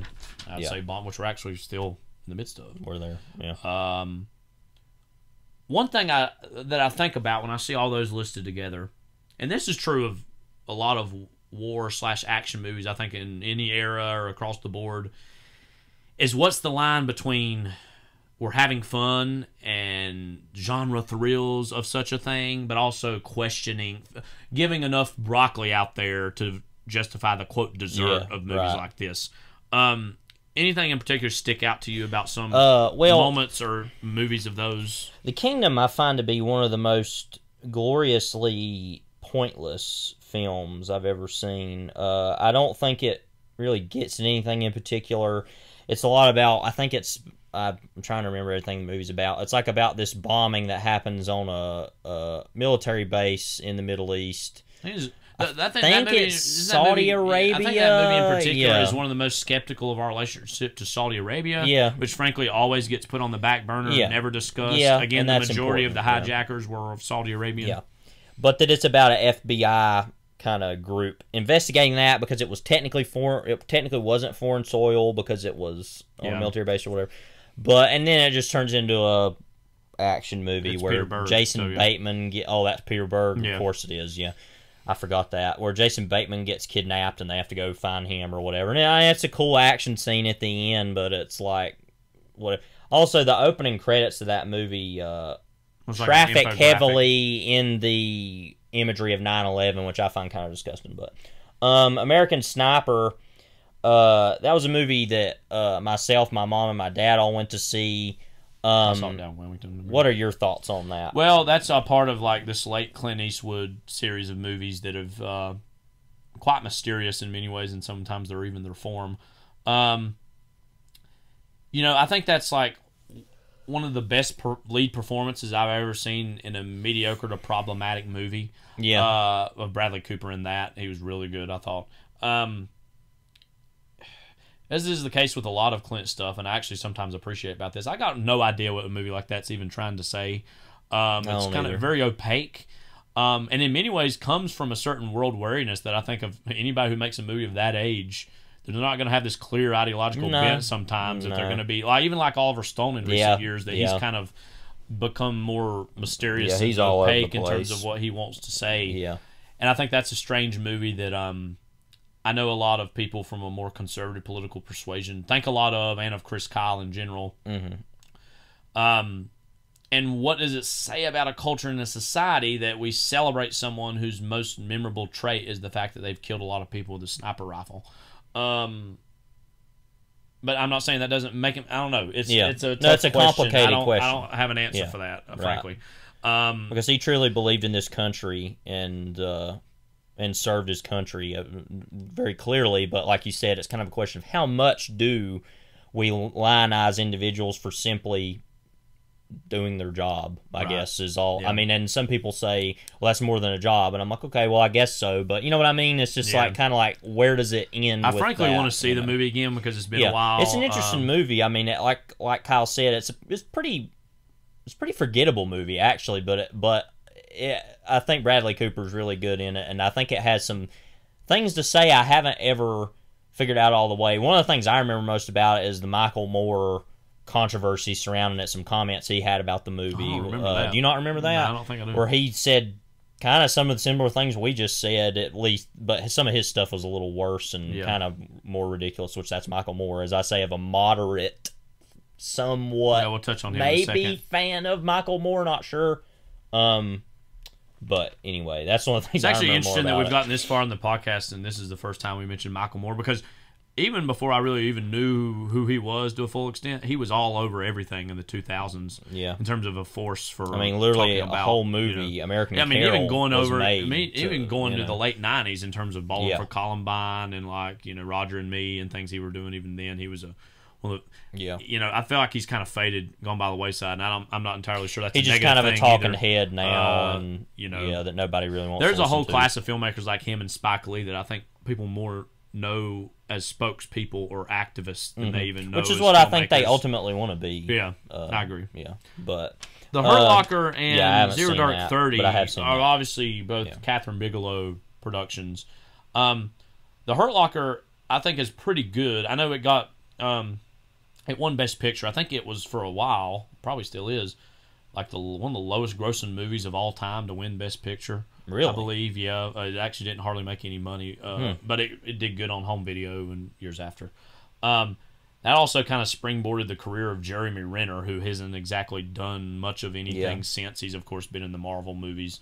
Um, but one of the most en- endear, you know, images that is seared into my mind in that movie, that, of a movie that I overall don't think a whole whole lot about, is there's a scene where uh, Renner's character, after he comes home after serving all these tours, and home's ever only thing he ever wanted, and he gets there, and there's this shot of him standing in a grocery store aisle looking at all the cereal yeah, and just kind of being overwhelmed and like honestly like this is what I fought for was all this and not sure if he should celebrate not sure if he should be confused not sure if he should be angry but just Yeah. standing there I mean it's just an image so you don't know what's Yeah. exactly going on to his head and I think that's what's fascinating about images obviously is that they bring whatever you want to with them and so that's randomly a moment I think a lot about in a movie I overall don't think a whole lot about but is quite good Yeah. um, Zero Dark Thirty that, of course, was made in came out in 2012, only a year after the death of uh, Osama bin Laden. Uh, what's your some of your thoughts on Zero Uh, well, I'll say surprisingly, and I just bought the movie on 4K a few days ago because we've been wanting to rewatch it. Uh, I didn't like it very much the first time I saw it. I thought that it was, for lack of a better word, I thought it was boring. Um, because most of the movie concerned with the search, and then of course, of course, I thought that, and this goes into the question of how much should I enjoy this. Uh, I thought the ending, the climax, was really well done. You know, um, of the actual assassination. But um, yeah, a lot of the movie I found to be kind of dull. But I want to rewatch it now. I was younger then Yeah, when I right. saw it, and I want to rewatch it now, and I think I would like it way more. There's a lot of controversy when that Um, movie came out. I yeah. remember about its depiction of torture. Uh, yeah, and in but- particular, yeah. I mean, the way I look at it, and I might change my mind if I see it again, but the way I remember it is like the movie is depicting what America is doing yeah, as bad. And people just don't like looking at it. Yeah. didn't like looking at it and criticize the movie, and I was like, well, shouldn't you be criticizing the people who are doing it? I don't know, but Yeah, um, but yeah, I was think that's a good movie. Uh, controversial movie. The Green, about- uh, Green Zone, that, or Body of Lies. Green Zone, and the Bourne movies, I want to kind of Yeah, put go ahead. together. I have seen uh, those, but- now, you know, the first Bourne movie, I think that came out in 2001 before the attacks yeah, earlier in the year. yeah, I can't remember. It did, Uh, or it was around that time. But two and three adopted this whole um, something that is not in vogue at all now, and people usually criticize. Um, but at the time, felt very re- revolutionary. Two and three, the Paul Greengrass style of cutting and action scenes. Um, now, across the board, I don't think that's necessarily great. Um, but at that time, was a bold new cinematic style that felt like added to the urgency and the uh, intensity of yeah, you know, those and those movies again are weird because I think they get thrown into this lump of time, but they're themselves not really about Islamic fundamentalism or Islamic terrorism. It's more about Jason Bourne versus the CIA in some ways, which in of itself people at the time would have known were engaging in some of these wars. And that way, a movie that I didn't even really write down and would probably be stuck in another category um, is The Good Shepherd, which uh, stars Matt Damon. It is a very haunting kind of movie about the beginnings and the origins of the CIA um, from the perspective of one of its founders. Uh, uh, I can't remember his name. Uh, Matt Damon's character. Yeah. Um, and that's a very again, it's kind of like a haunting, almost scary. Feels like a horror movie in my memories. Munich is similar in that way. That again, it was Yeah. made in 2005, I believe, by Spielberg, and that's about the, uh, you know, the was it 72? Uh, Munich games, Munich the Games, Olympic games, the terrorists. Palestinian terrorists killed um, off most and so of that in of itself was a very important Olympic team. Spielbergian movie. Yeah. That and War of the Worlds also gets talked about, made uh, at this time of Spielberg even trying to uh, Yeah. deal with the moment. Man on Fire, and uh, you know, Ridley Scott's. Did you talk about Green Zone? Oh, maybe I didn't. Real, No, real quick, yeah. Green Zone is uh, again another Matt, Matt Damon. Actually, I think is an underrated avatar for a lot of these movies. Well, he was in Syriana, too, in a lot of these in Yeah. terms of an avatar for America at this moment. Um, Green Zone is uh, fine enough, uh, kind of un- unmemorable, but in of itself is trying to like say, hey, wait a minute, what were our reasons for getting into Iraq? Were they faulty? Were they, you know, uh, not really the right ones? And so in that way, it's a historical You document. know, another random movie he he was in Che Part Two. He was like the CIA kind of interpreter. Well, I would, I guess, interpreter is the right word because he he was talking between some of the like Bolivian government, but he was like basically the CIA Yeah. person in the movie, and like that he's randomly in it, and you're like, oh, Matt Damon's in this, okay, Yeah. and that's just kind of another random movie he played some. America, and that like obviously was in 2008, and it wasn't about the time. It was like in the 70s, Yeah. but uh, that's something interesting, I think. But anyway, sure. or no, late 60s. Anyway, whenever that was. But yeah, Uh, Body of Lies, um, and Man on Fire, both uh, Yeah. Scott Brothers movies. Uh, Body of Lies, of course. I've seen Man uh, on Fire, but not Scott. Body of Lies. Um, Body of Lies was good. That was around the time, and that movie is fairly, I think, critical of America in terms of its foreign policy and what it is doing in response to such attacks. But at the same time, again, it's a Ridley Scott action movie, so it's got certain itches it has to scratch, and that's frankly more what it's concerned with than being critical. And again, th- this whole genre movie's tough because I think, as I've already said, that this whole impulse that oh we got to entertain people and make people feel like they're getting an action movie, but also being critical of certain aspects of American foreign policy or geopolitics in general, and those that just you know Yeah. sometimes it's Mhm. tough. Something like Man on Fire, you can speak a little bit more to. Now Yeah. that's you know not explicitly about No. uh, the war on terror. No. That principally takes place in Latin America. Was Yeah. it Brazil? Yes. can't remember. Let me Yes. look it up real quick. But Uh, of course, Denzel Washington plays kind of a former uh, Creasy was his CIA name. guy um, Yeah. who's protecting This little girl. Dakota is- Fanning. Yeah. It's actually a remake, uh, also of another movie. Mexico. No, Mex- that's No, right. no, No, because Mexico. yes, it was about. That's what I'm remembering now. It was about the. Uh, what was that they called I think it? I was thinking about Max Payne three. You know, that takes place in Brazil. Yes, that does because that's very much a. Uh, I've played that game way too many times to admit. That's uh, uh, basically the same kind of story about these. What do they call those? Those like kidnappings that. Uh, does it have a name for it there on the Wikipedia page? It's a specific type of kidnapping. I can't remember.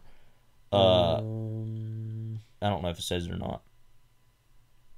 well, it's like holding them for ransom. I guess. Yeah, I get. Well, but anyway, is this kidnapping that was that it was very widespread in Mexico at the time, and in in parts of Latin America, I guess I don't know, but that uh, yeah, uh, would you could you briefly explain why you think this has a connection? Because I think I kind of get it, but maybe you could. Explain Well, I it think better. it's again, it's like um, there is this sense of Hollywood action style that Tony Scott was one of the big innovators Yeah. of, and in his own way, um, Paul Greengrass was himself Mm-hmm. doing a version of it this time that deals with this fracturing of traditionalized uh, narrative storytelling, which in many ways feels like the dawn of the 21st century in terms of the internet and this distillation of what's true, what's not, and just this general restlessness and this general feeling of uh, urgency, and that that style conveys a sense of urgency that is indicative of what is going on with the war on terror. And again, it isn't just about the war on terror because I think the style was developing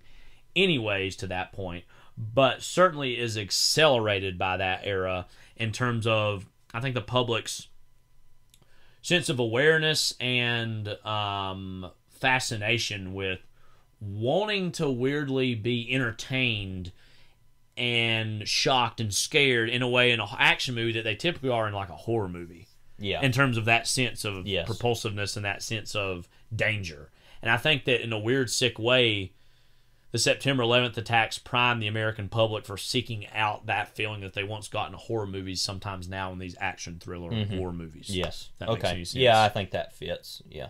And it being a former member of the United States intelligence community, I think, says a lot about that too. Right. In that sense. Yeah, yeah, and again, that movie's not explicit about terrorism No, exactly, isn't. but No. it is about uh, the lengths of which we'll go to quote preserve freedom and or restore a sense of lost innocence. Right. I think with that Yeah. particular character. Now, what about the Daniel Craig Bond movies? Do you think Well- connect to maybe any of this? Obviously, I think Quantum of Solace, particularly, because I was thinking a lot about Casino Royale, but I want you to look up where that Quantum of Solace was principally. I believe, if I'm not totally wrong, was in the Middle East.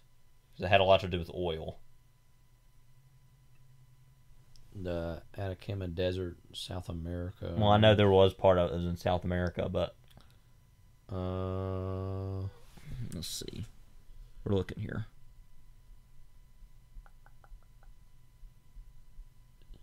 mentions Italy, but then Austria. Where's that telling on there? Where's that? Oh, that was it. I can't remember, but anyway, the point is, is that it was a lot about Italy and water. I mean, not Italy, oil and water, and a lot of these like natural resources. Um, and it felt as if uh, that's why I was misremembering that. I get now. I did remember that the ending of it was in South America. I did remember that, but uh, that Well, it is this uh, desert obsession- environment Yes, right. that even can be conflated. I think that's what the point time. is is that it it's obsessed with oil and uh, these natural resources that certain people don't have. I remember that being a big part of it. Is I remember the shots from that movie about like water that people couldn't get or whatever. Um, and anyway, just that uh, that movie in particular is famous for being totally not only narratively but visually incoherent.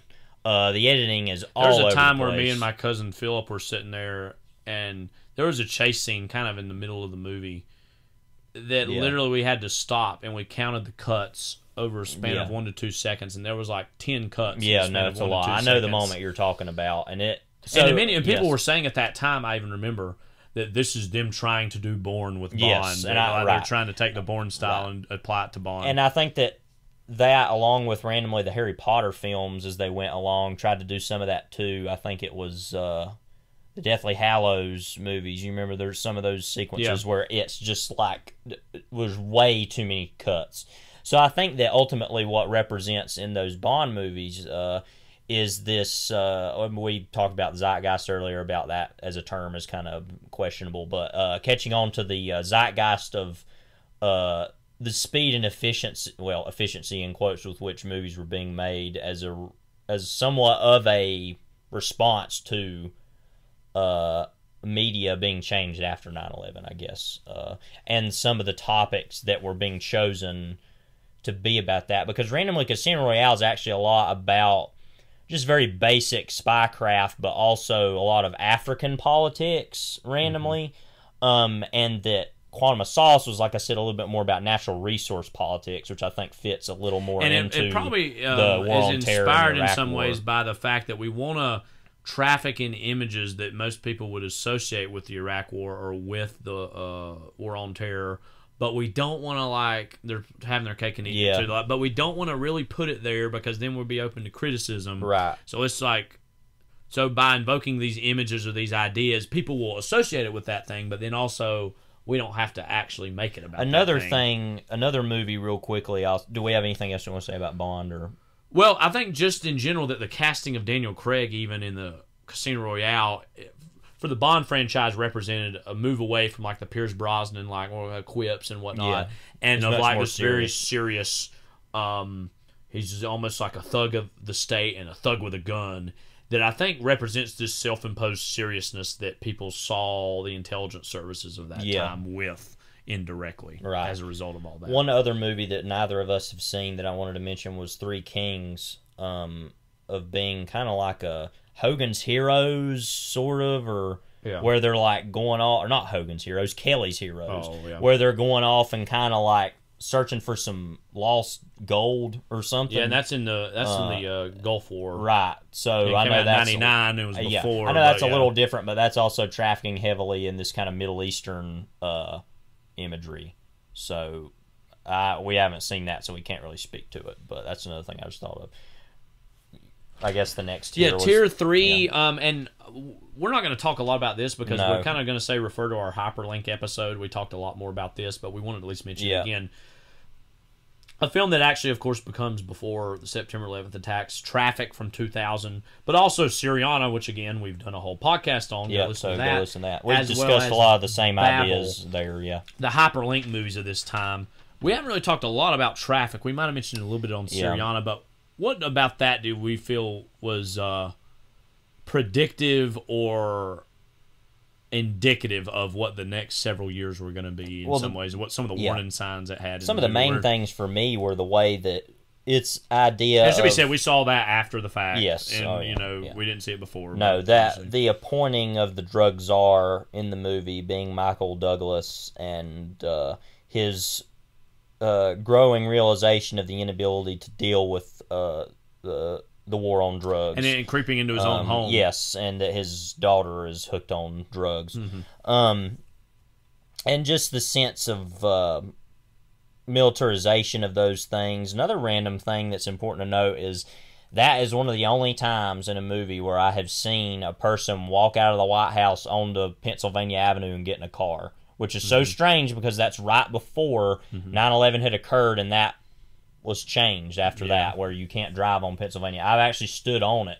Uh, in the front of it, but you can't drive on it And now. I know But- the hyperlink movies, and we talked about this in that Syriana pod, have sometimes faced, I think, sometimes some justified criticism for like simplifying things and being like geography 101 for dummies in terms of like, uh, oh, it's all connected, you know, like idea. But, you know, as people who come of age in that time, those movies were important for us to understand not only how these systems operate and how they interconnect, but empathizing with people from all these different cultures and people's uh, and understand and trying to get a grander, more holistic understanding of how, uh, for one thing, maybe terrorist acts can happen, as we see in Syriana with um, one of the characters in that that we talked about a lot in that, but also just how um, really more often than not in a lot of these hyperlink movies, especially like Traffic and Syriana, that it's almost more a war between organizations for resources, and it's about Yeah. what how, what can we get over on someone else and what those conflicts and unfortunately side Yeah. whole peoples individuals that get short sighted or destroyed Yeah. by virtue of yeah. going to war And with then- those yes, institutions or and- Mm-hmm. just being a bystander to those institutions. And then Babel, uh, I've not seen that. I've seen that, and it, it's pretty good, but I think that concerns a little bit more about the ideas of globalization. Um, and the, it's on a basic interconnectedness that is explored in hyperlink movies. Um, so it's not as much of a political, uh, expressly political movie, although it uh, part of it is in the Middle East and is very much concerned with that. Um, one segment of the movie. Another movie I really want to jump to really quickly before we move on that we should put in our action movie section Yeah. Is uh, Sicario 2 Day of the Soldado. or even Sicario one to Or even extent, Sicario, but Sicario yes. two more yeah. actively includes itself into that. What about that brings to mind some Well, of this? it very and I just bought the movie on Blu-ray and got it the other day. It's a movie I don't like, but I'm fascinated by. Um, One of the most laughable endings of all time. yeah, we won't go into all that now, but that um, I think that that well, not I think that movie very clearly uh draws this very dangerous line between um uh you know immigration at the southern border and uh, Islamic terror.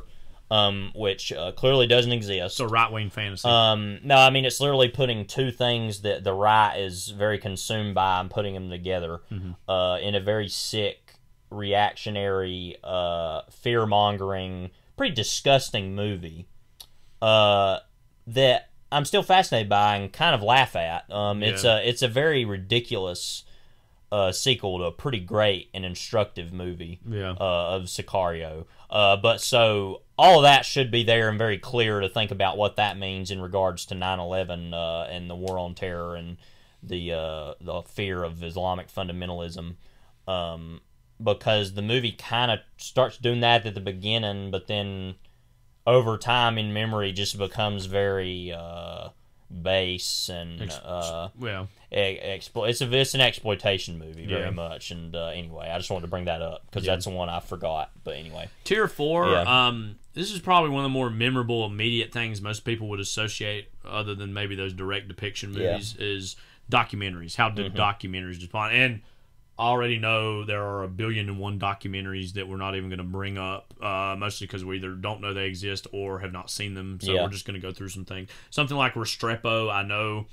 Um, was a huge movie about the war in Afghanistan. I've not seen it yet. Unfortunately, I hope to someday. I know that one of the co-directors of that actually was killed later on in Afghanistan Yeah. covering the uh, one of the wars.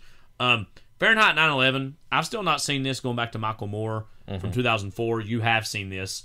Um, what about Michael Moore in general makes him an uh, an avatar for trying to talk about some of these things? uh, he has no shame. Yeah, uh, that's the first thing that can be said. Sounds negative and it is it kind of it mostly is actually but also kind of a positive thing. He has no he will say whatever he wants about something uh, and of course he'll make up things that aren't true too which is part of what my problem with Fahrenheit 9/11 is is a lot of assumptions that it makes about things I don't think are true um, it makes but- a lot of connections, doesn't it, to the Saudi royal family and the uh, Bush? Uh, yeah family? because of oil which i don't think is i don't know how i don't know about any of Yeah. that I, so uh but yeah i mean it makes a lot of assumptions i don't find to be true but i think it's ultimately right about a lot of things about what what fascinated and enthralled the uh, government in its wars in iraq and afghanistan um, that were not just for the reasons they said they were um, so I think it's a very instructive movie. Uh, it's very well made. I mean, he's a master filmmaker. Uh, um, but I think that he also, in the midst of his seriousness, likes to play a lot of satirical little games that I don't think are always uh, mature, mature for what, yeah, for what the uh, implications. yeah, because there's one thing in that movie which is admittedly funny, but it's kind of like okay, if John Ashcroft singing uh, a, uh patriotic song, and at the bottom it does that like MTV thing where it says the name of the song by John Ashcroft, and it's kind of just like I mean that's kind of funny, but it's like I what are you d- accomplishing here Yeah. exactly? And not so I have I, I actually quite like Michael Moore for the movies I've seen. I think Bowling for Columbine is especially impressive. Uh, but um, and that movie has its own complications Yeah. and controversies. Every one of his movies does. I in some mean, way. yeah, but um, but I think that ultimately my line on Fahrenheit 9/11 is uh, a uh, right, a pretty right on movie about a lot of things it says that, but he feels the need to create and uh, divert and play all these little smoke and mirrors. Well, in some ways, that goes back to not World Trade Center, but other Oliver Stone films in Yeah. the sense of he himself loves to maybe employ Mhm. conspiratorial Yeah. thinking and or um, taking a tragedy or taking an event and creating seemingly history out of Yeah, that right. and trying to and the and the detective game that has to happen of what's true and what's not. And frankly, we should be skeptical of every movie that depicts Yeah. anything. I mean, and, but certain movies make that um, investigation all the more needed immediately. And somebody like Michael Moore or Oliver Stone, you know, I could see somebody think of them as cynical. Uh, Yeah, it's no uh, wonder why people hated Michael Moore so much in the 2000s. I mean, I mentioned it very briefly earlier, American Carol, which is a movie we saw the day of. I don't know why. yeah, Lenore. Um, in the movie I think about way more than I want to admit because I have a lot of thoughts on that movie. Basically, it's a uh, right-wing parody yes, of of, of Michael Moore and a and lot of through things. the Christmas Yeah. Carol, which is very strange. But um, and that one of the ghosts is uh, Bill O'Reilly randomly in Yeah. the end or something. Well, he's not one of the ghosts, but he's in the movie Yeah. very quickly for some reason. Dennis Hopper, I think, was one of his Dennis Hopper was in it as uh, a judge, and he like shot the Ten Commandments where it says "Do not kill," so that he could Yeah. do that to the to the ACLU zombies. We'll stop this here. It's ridiculous. Uh, but I'm glad we it- even mentioned this actually because it actually is a Right. piece of this Um, ephemera this time. Yeah, and uh, the fact that the right would be so consumed with the ACLU only wanting to promote civil rights and saying they are zombies is Yeah. pretty disgusting. Um, but anyway, uh, that that it makes sense to me why Michael Moore would have been so loathed at the time for perpetuating a lot of lies. I mean, there's a lot of things that I, I find, frankly, I'm like, I can't believe you would make these connections. Yeah. Um, but at the same time, is getting at something far larger Yeah. that I think is inherently true. Mhm. Uh, so it's a very com- he's a very complicated individual that I, f- I find very uh, laughable at the same time as I find him very uh, clairvoyant. and- Yeah. But anyway, Another Yeah. obviously superstar documentarian, far less controversial, but not 100% uncontroversial, of course. Errol Morris. Two documentaries he made among many that well, immediately. three. Even. Well, three Yeah. actually, really, yeah. Yeah. Um, the first of which seems a little bit disconnected from this, but I think very much fits into this. The Fog of War from 2003, which was his profile of former Defense Secretary Robert McNamara, who of course served in the Kennedy, uh, John F. Kennedy uh, administration Mm-hmm. into the Johnson years, was one of the key architects behind the failure of the Vietnam War. And again, interviewing him in 2003 is very clearly making parallels inherently to. Is he still War. alive then? He- He was alive then. Really? yeah. He died some years after that. I was though. just I didn't even Uh, know he was alive. No, I mean the movie is a I feature length. yeah, 'cause I haven't seen the movie, feature length. so, okay. basically the Rumsfeld documentary, but about okay, him. right? Um, and so it's an interview with Robert McNamara and him expressing a lot of doubt and concern with his role in the Vietnam War, but also sticking by certain um, truths that he believes were justified. Um, and there's been a lot of debate about him over the years, whether he was quote a hero or a villain, and he's somebody that you can't easily put into either category. I don't think. Um, but in in of himself helping the Vietnam War reach its point of maturity, that in of itself, what I think would make somebody more in the villain category. Yeah, Um, but again, it's a very fascinating reckoning of him trying to feel self conscious about these things. Yeah. Meanwhile, the unknown known with Donald Rumsfeld, made ten years later, is almost the same documentary, Yeah. but instead about Rumsfeld. yeah, because I've seen that. Um, he doesn't seem to be all that sorry about anything, and he's done. And there's even been criticism. I just saw in recent weeks, even in months, of people saying while Morris had a great idea and a great um, reason for pursuing such a project, that did he inadvertently give rise to the sense of, uh, you know, obfuscation of reality that we've seen so much in politics in the last like 10 years. You know, I would say for all his sins, Donald Rumsfeld didn't invent such a concept. That No. that concept's been around for a long time and will be continue to be around. And if nothing else, it's fascinating to see Morris kind of grill him and him almost with a smile answer everything with a logic that while you may not subscribe or buy into, for a lot of people is reality. Yeah. Um, what about you? What did you think of Uh, that I don't. I don't find that uh, criticism to be valid, frankly, because uh, first of all, Rumsfeld digs his own grave. I mean, if you, you have to go into the movie knowing what you believe, and you're going to come out probably either way believing the same thing. Yeah. And uh, I do not find uh, Donald Rumsfeld to be a, uh role model. So, um, but I mean, I don't know. I think that people, and I understand that, you know, that promotion of conspiracy is danger is not only dangerous, it's uh, ab- abhorrent. But um, but at the same time, that's democracy. Yeah. He has the right to say whatever he wants to. Yeah. He is a human being. I mean, so I don't find that criticism to be valid, frankly, because it's like, well, Morris is just asking him the questions and he's answering them. I mean, you know, and there's kind of the moment of the movies at the very end where he's like, "Why are you saying all this?" And he said he just kind of laughs, Rumsfeld, and says, "I don't know." Yeah. and uh, now, partially, he yeah. might feel like he had to defend himself for Yeah, criticisms right. he's been leveled against. him. and so therefore i just don't find that to be a particularly valid uh, criticism Mm-hmm. at all because i think that uh, that's what democracy is and people still get to do those things now all the time uh, and um, i don't like them but Right. uh, if nothing else, ci- it needs to citizens- exist for the historical citizens record. have the right to believe those things as stupid as they are Yeah. um, so uh, Well, again, if nothing else, it needs to exist for the historical record. yeah and that you know. too so yeah Now we've not seen. You've not seen standard No, operating haven't. procedure. Standard operating procedure, 2008 documentary Morris made about the Abu Ghraib uh, tortures and No. uh, Uh, but I have seen some documentaries about yeah. that that I saw last summer when I had to do, or not had to. I took a well, I had to because I had to finish my degree, but I took a class um, through uh,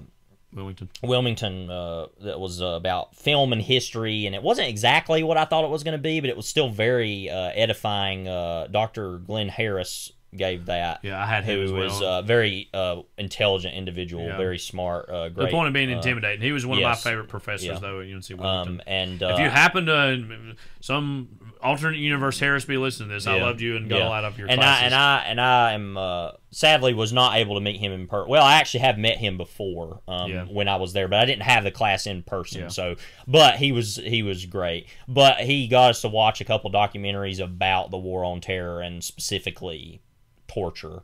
Uh, and all that, so I'm well aware. I've seen the im- and that and that's another thing I meant to say earlier is that growing up in this time, that was made normal to me yeah. which is something I thankfully am not at all.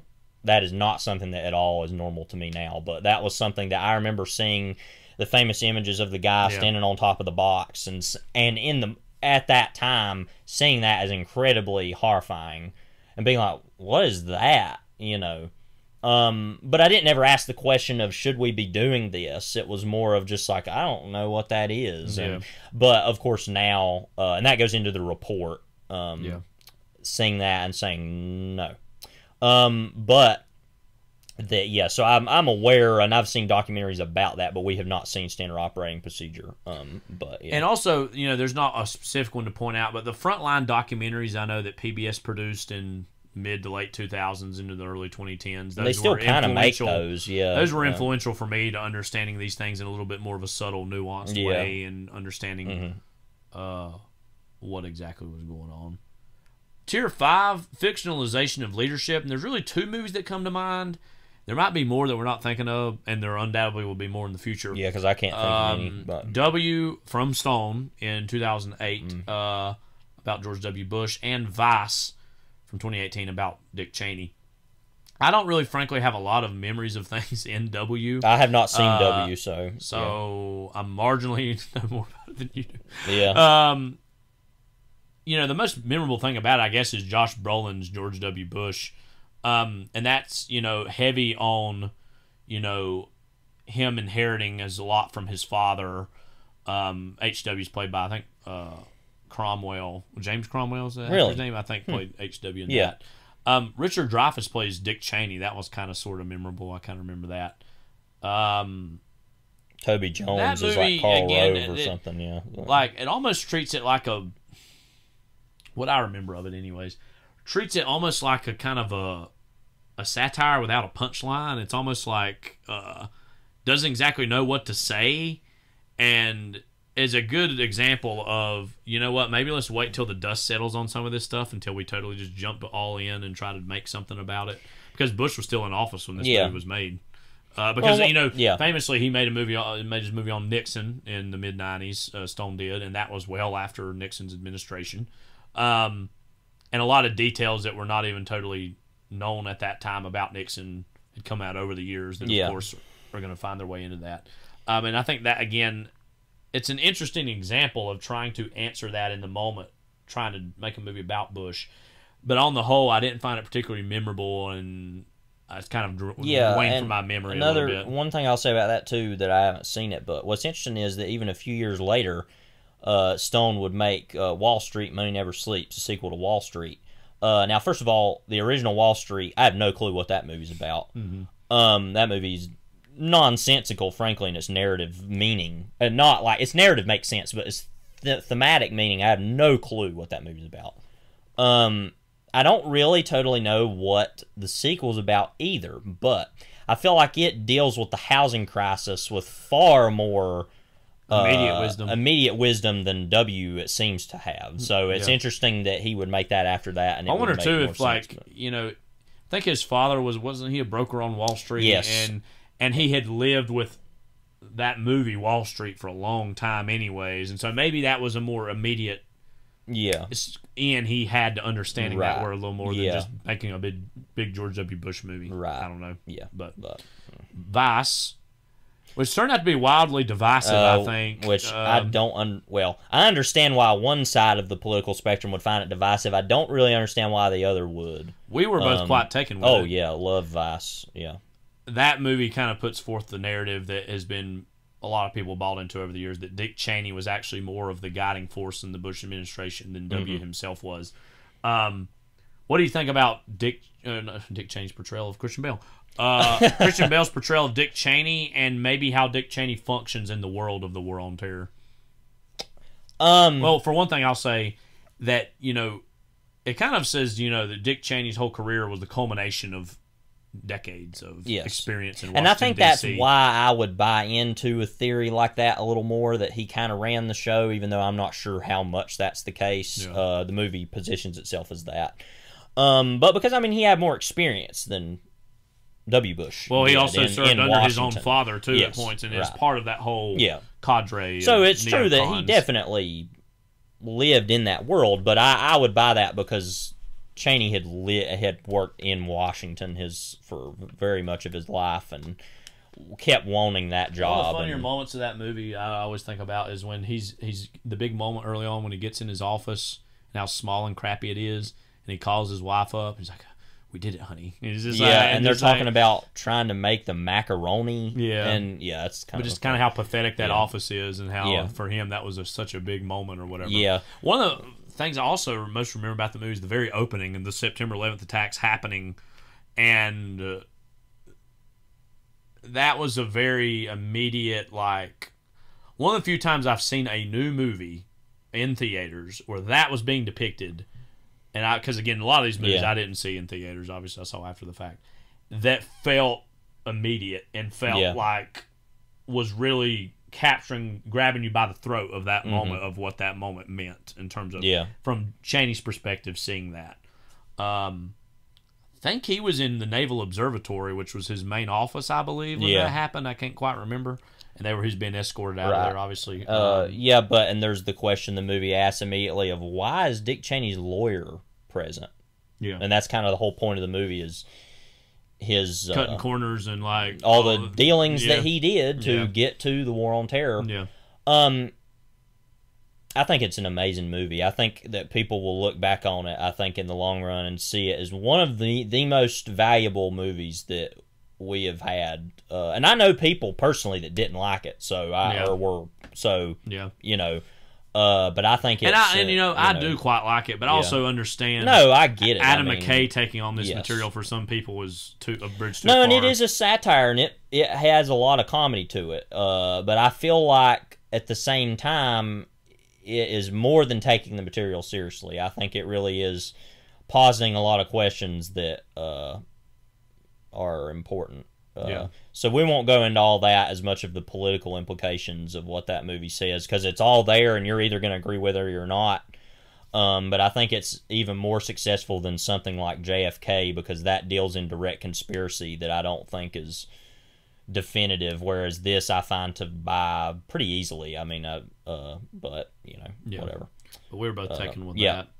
that. Um, now this is going to a little bit of a different area, and involves a lot of TV actually. Yeah, Um, because we've talked a lot about film and a little bit about TV, but TV, of course, is going to play a huge role into how we've consumed and uh, dealt with. because that is things. a weekly uh documentation of America. Yeah. You know, and more so, immediate yes, than yeah. film is.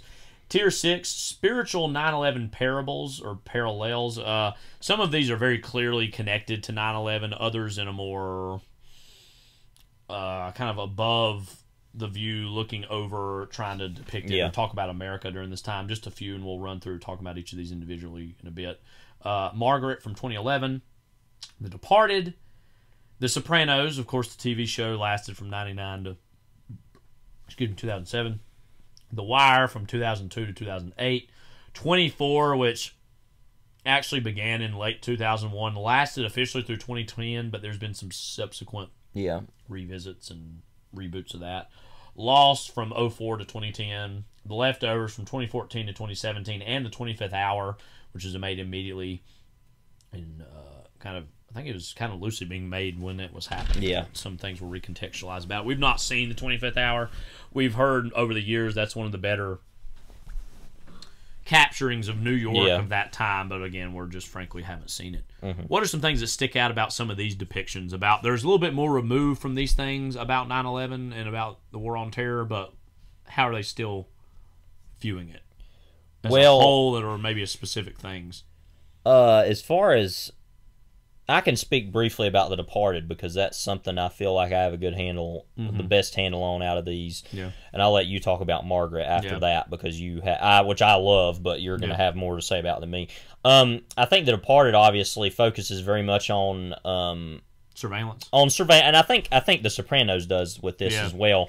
Uh, the law enforcement surveillance of uh criminals in the same way that they are now surveilling uh terrorists. And terrorists are Um, mentioned here and there. right in the in the- Sopranos well, and in, and in the- the Departed, Departed, yes. yeah. Um, but uh, I mean, there's literally a moment in the movie where Alec Baldwin says "Patriot Act, Patriot Act." I love it. I love it. I love it. So I mean, it's very clearly very much about being allowed to survey people in new ways uh, under the guise of protecting freedom, uh, which is now being used on criminals.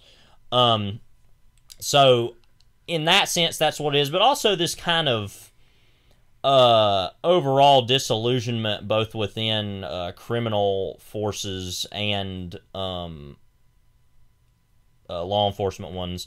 I mean, kind of really the big, uh, you know, MacGuffin of the Departed in strange ways are microprocessors, which they talk all the time about. Mm-hmm. That those literally being able to be used in cruise missiles um, and stuff that they're selling to the Chinese, which can eventually be a possible problem. Uh, but that the um, that criminals are realizing and organized crime is realizing the worth of being able to sell these, uh, you know, uh, types of you know technology for weaponry to these other countries, being able to exploit uh, terrorism All in the these name of money. ways, all in the name of money. Yeah. Uh, and I think that's a very interesting kind of evolution of Scorsese's gangster Yeah. epics is to go that way. Um, another along with the movie we wanted to mention was Gangs of New York, Yeah. which came out in 2002, Yes. Mm-hmm. I believe. Um, and now that movie is, of course, a period piece set in the 1860s in the midst of the Civil War. But very famously, the movie ends with kind of this uh, um, flash forward of sorts to showing the graves of it was Liam Neeson and uh, Daniel Day Lewis's Mm-hmm. Yeah. characters, who were these kind of rival gang leaders and kind of how the city of New York changed over the years. And it's almost like you know this time lapse of you see how this these buildings were tore down and these came up, and then one of the final images of the movie is of the twin towers Mm-hmm. eventually being in the background. Um, Yeah, and I think that that I think what that obviously is saying is that New York at that moment had really come together, and that even these two, it's very strange because it's about something that is not at all about 9/11, but that uh, it's implicitly the image is implicitly saying even these two men buried beside each other who were rivals are together in history yeah, um, and that I think that it's this strange kind of, and I'm not saying it's a bad thing to do. I think it's very interesting of Scorsese doing that at the end of that movie, kind of and you know. Those two examples are frankly the closest he's ever come to grappling with Yeah. 9/11. He's not made any movies that, and it's not if he don't want to, that's his No, business. I'm yeah. not saying he needs to, but being a quintessentially New York filmmaker, um, you know, he didn't make some big 9/11 movie. Yeah. Uh, in the way that somebody even like Spike Lee has touched several times. Yeah, over the years. and kind of jumping off of that, one of the writers of Gangs of New York was Kenneth Lonergan, who made Margaret. So yeah, I'm gonna- Margaret, um, you know, that was supposed to come out in the 2000s. Mm-hmm. Um, I think it was shot in like 05, 06, 07 ish. It was so supposed to come out in the late 2000s. There were a lot of post production problems with that movie uh, that forced Kenneth Lonergan to cut versions of it, and eventually the version that came out in 2011 itself was hardly seen at all, and was a little bit of a butchered version of itself. But as someone who's seen that and a more director's cut version of the movie, which in of itself apparently is not the final formal version of the movie that he wants to have seen. There's there's a, there's not like any radical differences between the two. Really, it's just scenes are longer and are Yeah. allowed to breathe more. Now, Margaret itself is ostensibly about a tragedy or disaster, but in a much more gra- you know small, gradual mm-hmm. human scale about a you know teenage girl played by Anna Paquin, um, who is really you know she's a teenager. She's self obsessed. She's indulgent in herself. Yeah. She's kind of selfish, uh, but also capable of kindness or capable of uh, empathy in certain degrees. But is Yeah. still a teenager above all else. Um, and I say this is someone who loves teenagers and teaches them every day. So I Yeah. know. okay. Um, who inadvertently distracts Mark Ruffalo, who's a bus driver, based on the cowboy hat that he's wearing, and she's oh, I want a cowboy hat. gonna be going somewhere. She's gonna go out west father. with her father, yeah. who's played by Kenneth Lonergan, and he inadvertently causes uh, he crashes into and kills a passerby woman played, by, Allison Janney. Um, and so she feels, and the whole movie's about her feeling the sense of guilt, um, but not really being sure what to do with it because she feels as though she is responsible for this woman's death by distracting him.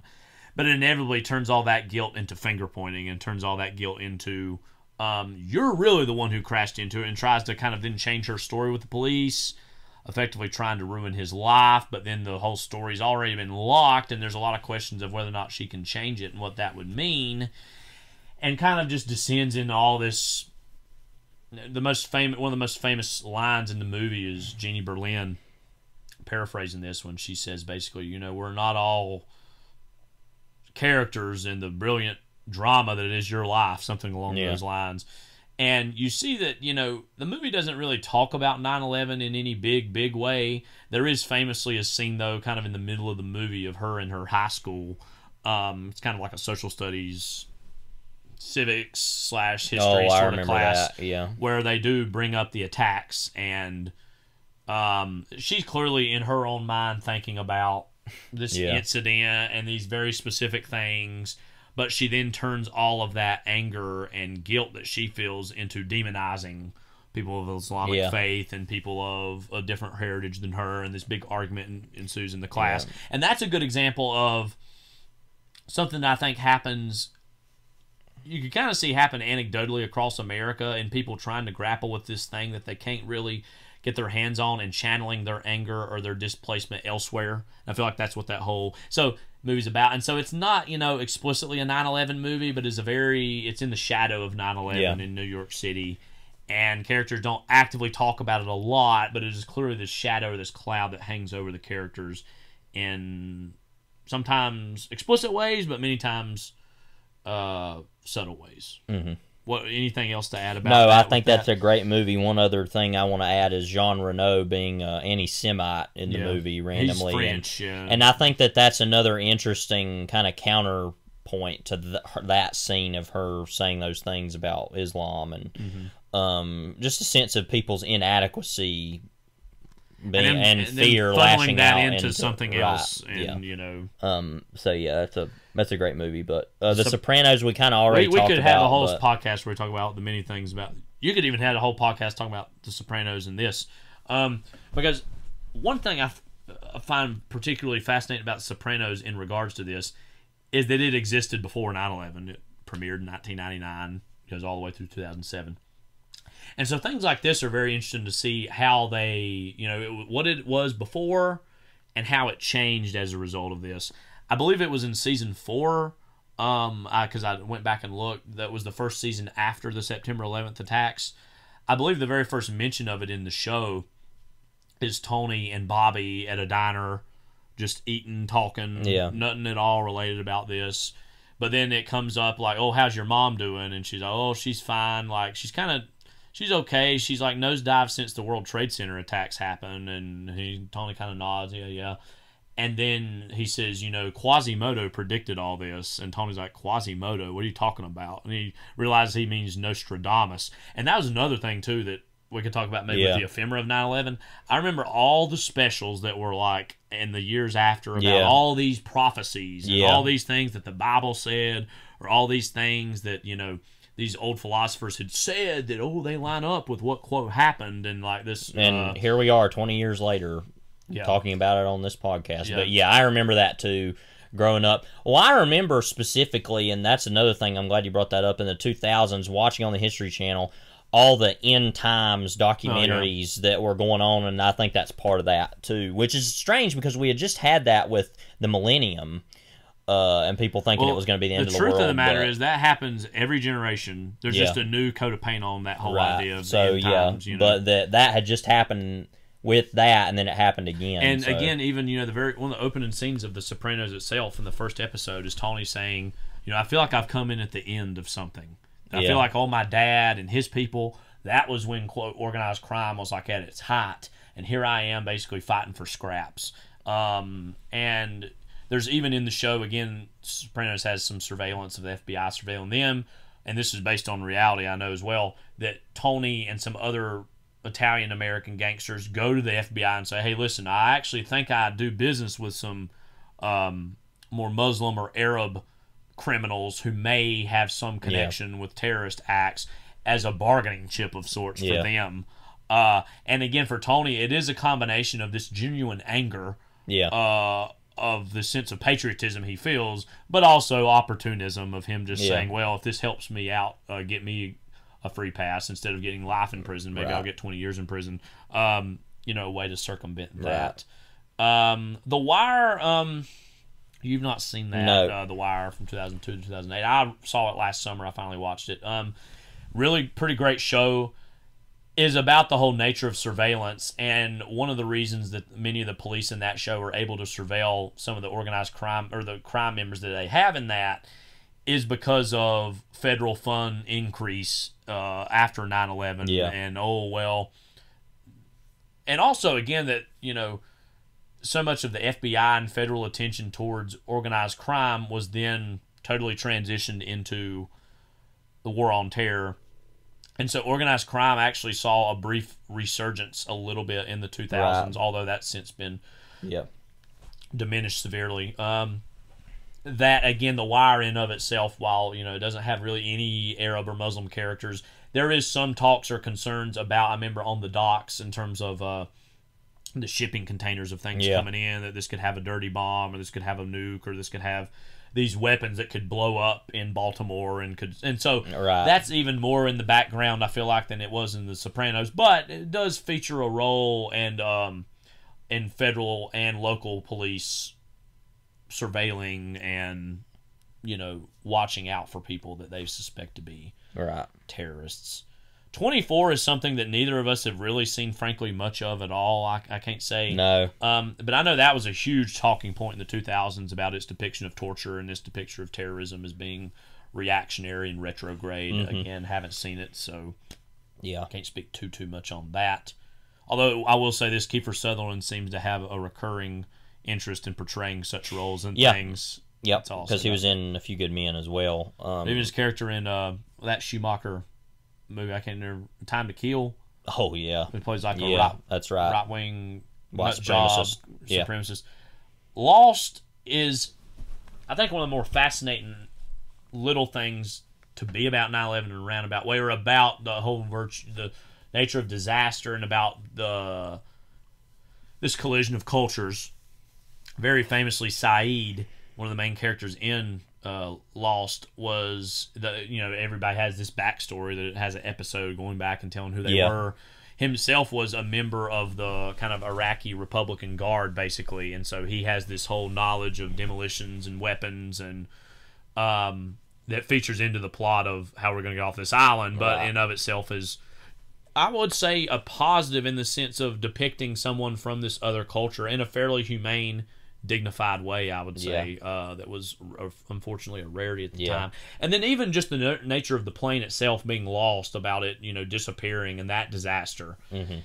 was obviously taking this idea and adding a sci-fi kind of thriller concept to this, Right. and jumping off and doing something much bolder than I think uh, people even suspected early on. Um, also, the leftovers, and I think this is, along with Margaret, for me, one of the most fascinating examples of loss and of you know this helplessness that people feel in the midst of tragedy. Yeah. The Leftovers, of course, is an adaptation of a Tom Perrotta novel, and I've not read the Leftovers book. I've read some other Perrotta novels like Little Children. Yeah. Um, but he all uh, Perrotta as a voice, I think, and it's reflected in the show that he co-created with Damon Lindelof, who co-created Lost. Um, of this sense of how can I move forward in the midst of this spiritual um, inadequacy. Yeah. Of uh, the what you know, what can I do to move forward in this with this sense of loss? That again, leftovers, and I think the show a slight problem. I and I should love the show. It's one of my favorites. That it sometimes felt like it was really more than two percent of the world's population that quote, Yeah. disappeared. But even that would, of course, have a massive questions that would be raised towards people in Right. regards to religion, Yeah. as- with regards to everything. Um, what about the leftovers? Do you sticks out Uh, as far as a depiction of this time? Well, I think it, and and I just think it's one of the best shows that has ever been made. I agree. But also that uh, I think that it gets it to the heart of almost uh, obviously uh, something akin to the rapture would be even greater of a mystery than 9-11 Mm-hmm. but that i think it gets to the heart of as a metaphor for unfathomable terror um, and the grief that that um, you know is comes as a result of that and the uh, fundamentalism and kind of sectionalism and factionalism that comes out of such a, an event um, and uh, the you know but at the same time the ability of people to move on and to appreciate what they have and uh, Mm-hmm. form new and- loves and yeah, new communities right. and new things out of and that. I think that that's what's so genius and worthwhile about a show like The Leftovers is that it likes to do all its little, you know, surrealist games. That it, well, I say that like it sounds bad. It's great, but you know, like it likes to be kind of like Twin Peaks, Yeah. but it's actually really about something. Uh, in ways that not that Twin Peaks isn't about things, but um, that it's a, it's very much uh, relevant. I think. And I think too the thing about the leftovers that could be also sublimated into thinking about 9/11 is the fact that as bad as this is, is this a harbinger for something worse to come? Yeah. Now, in the in case of the leftovers, that's referring to the if that was the biblical rapture, does that mean the apocalypse is upon us? Yeah. And again, a little bit earlier, what you were almost talking about, all that apocalyptic discussion and imagery that we were inundated with in the 2000s. And again, every every generation has their version Yeah. of. In the 60s, it was the nukes. Um, in the 70s, it was a lot of environmental things actually that they Mm-hmm. Yeah. thought about. Um, We're there again. So, yeah, uh, and in the '80s it was nukes again. In the '90s it was the internet. What does the internet represent? More of an abstract Yeah. thing. And then now in 2000s, it was all about terrorism. A lot of it. Um, and now again we're living with that. I think again with um, natural disasters and climate change. Um, but again, is this is this a harbinger for something worse to come? I think that in and of itself was a metaphor that Yeah. 9/11 could fit easily into. Um, I think that covers that. I think tier seven and eight we can combine almost into one because it, it kind of refers to. I had superhero movies and then just opiate for the masses, these spectacles, blockbuster cinema. How did blockbuster cinema respond? I think the most obvious ways we can see this is with superhero movies. It kind of in the last 20 years has been when superhero movies saw a direct boom. Do you see that as totally coincidental, or do you see that there's a relationship between that and the after effects of September 11th? I don't know. I don't. I don't think so because I think that with superhero movies in the '90s, particularly the Batman movies um, in the '90s, and and uh, also a lot of those like Mask of Zorro, The Phantom, The Those Rocketeer, those events, yeah. uh, The Mummy. I think that was something that was in the making. Uh, and then with the X Men movies as well being a thing, and so I think that there was already a lot of that moving in that direction. Um, but also I think that if you look at the Marvel movies, um, that maybe and frankly, those are a little bit yeah. further along. right, but in that's at the later- end yeah. of the two thousands. But uh, I think that if you wanted to think about it in that way, maybe people wanted to escape into something that large. Um, Well, the, But- but at the very beginning of the decade, non superhero related, obviously you had the Harry Potter movies were starting up, and the Lord of the Rings movies were starting up, Mm-hmm. Yeah. and that winter of 2001 immediately following that, and that in of itself was an escapist yeah. thing for those. so maybe years. I think it's all a coincidence that these things happen. I just think that the success of them maybe is as a result somewhat of 9/11 in the sense that people were looking for fantasy. Or a um, clear cut heroes escape. and villains. Yes. Yeah, Maybe, but I, I still think that those movies were made and they would have been successful. So I think that's just a I think that's more of a coincidence. just lined up with the yeah, time. than yeah. than uh, a direct result of that. But Mm-hmm. yeah, One thing that again I can't I can't speak to what this really means because a moment like this is so far conceived ahead of time and um is in in of itself its own thing out of the books. But a moment to me that means something and I don't know what it means, but I, I just got a feeling about it is after Gandalf's death in the Fellowship of the Ring, which again would have premiered in the winter of 2001 immediately following those attacks months after of that sense of shock and loss that the fellowship feels for Gandalf's death, um, I would imagine was a very some combination of cathartic and horrific moment for a great Yeah. many people across the country who would have watched that in the context of that moment in terms of this sense of loss that that portrays. right. Um, Again, that's something that's was shot and conceived well in advance, but in of itself, I think is unconsciously speaking to the moment in some weird Yeah. way. And I, I don't know what the words of the di- I don't know what Yeah. the vocabulary for that is, but I just feel like that is some expression of something. You know, Yeah. I, I don't know what uh, that is. Um, some th- other things as well we kind of singled out. Um, Man of Steel. Now, Man of Steel that comes out in 2013 was you know a reboot of Superman for uh, the new quote DC movies. Um, that call that got a lot of criticism, justifiably, in um, its destruction of cities. And you had started to see this in some of these Marvel movies, but that kind of took it to a whole nother notch. Yeah. That was the same summer as well as Star Trek Into Darkness did some similar things in terms of destruction of cities, which was pretty horrific.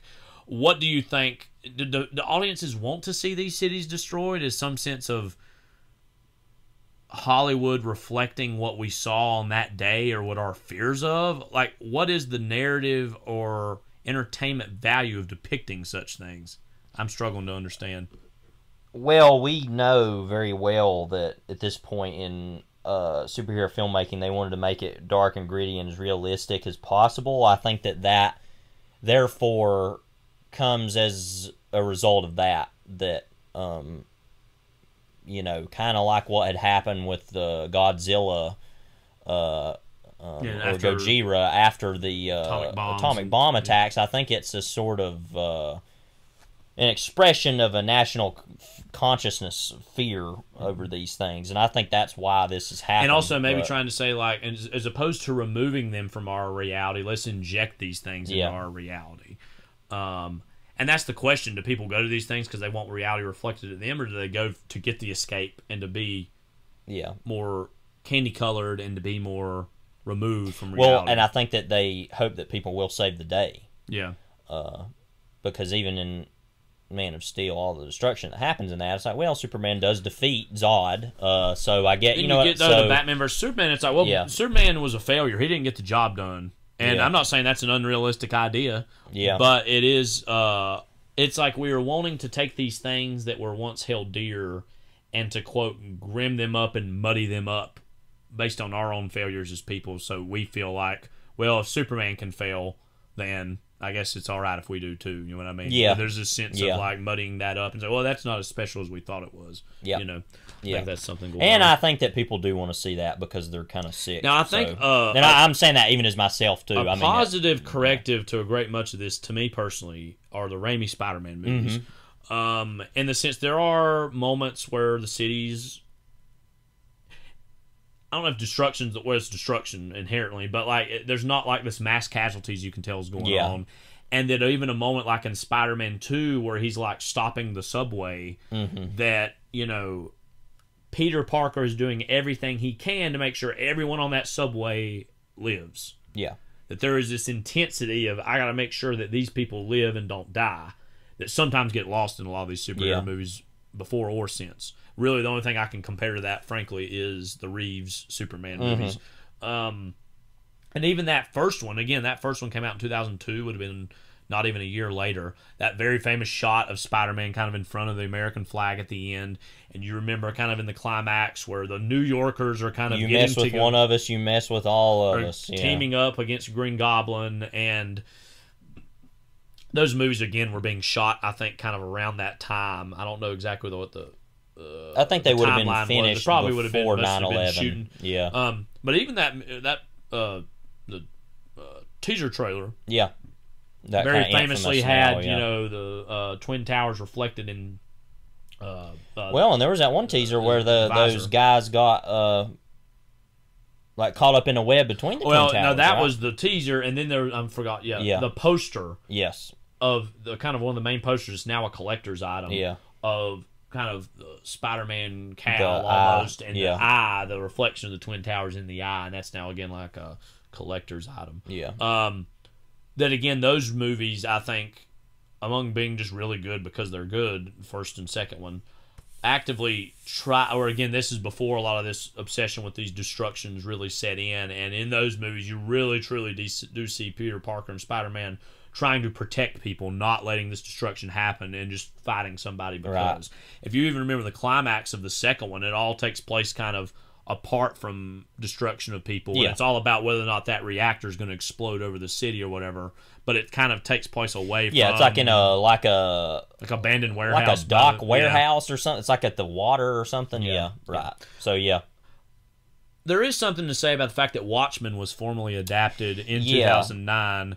Um, now there had been various iterations of that that had maybe been made. I think Terry Gilliam. There was a version that was going to incorporate. I didn't know that. uh, or be around the time of 9-11 i feel like um, that wasn't made but what about the 2009 edition of Uh, watchmen do you reflects any of these well, things first of all, that uh, that movie's very apocalyptic. Um, as uh, and the as Watchmen was originally the comic book. Uh, in the eight, mid 80s yeah. um, which also had to do with the invasion of Afghanistan. Interestingly. yeah Um, but I think obviously the big thing with that is this uh, sense of uh, des- destruction and mass murder that occurs um, because one individual thinks they're saving the world uh, by doing that.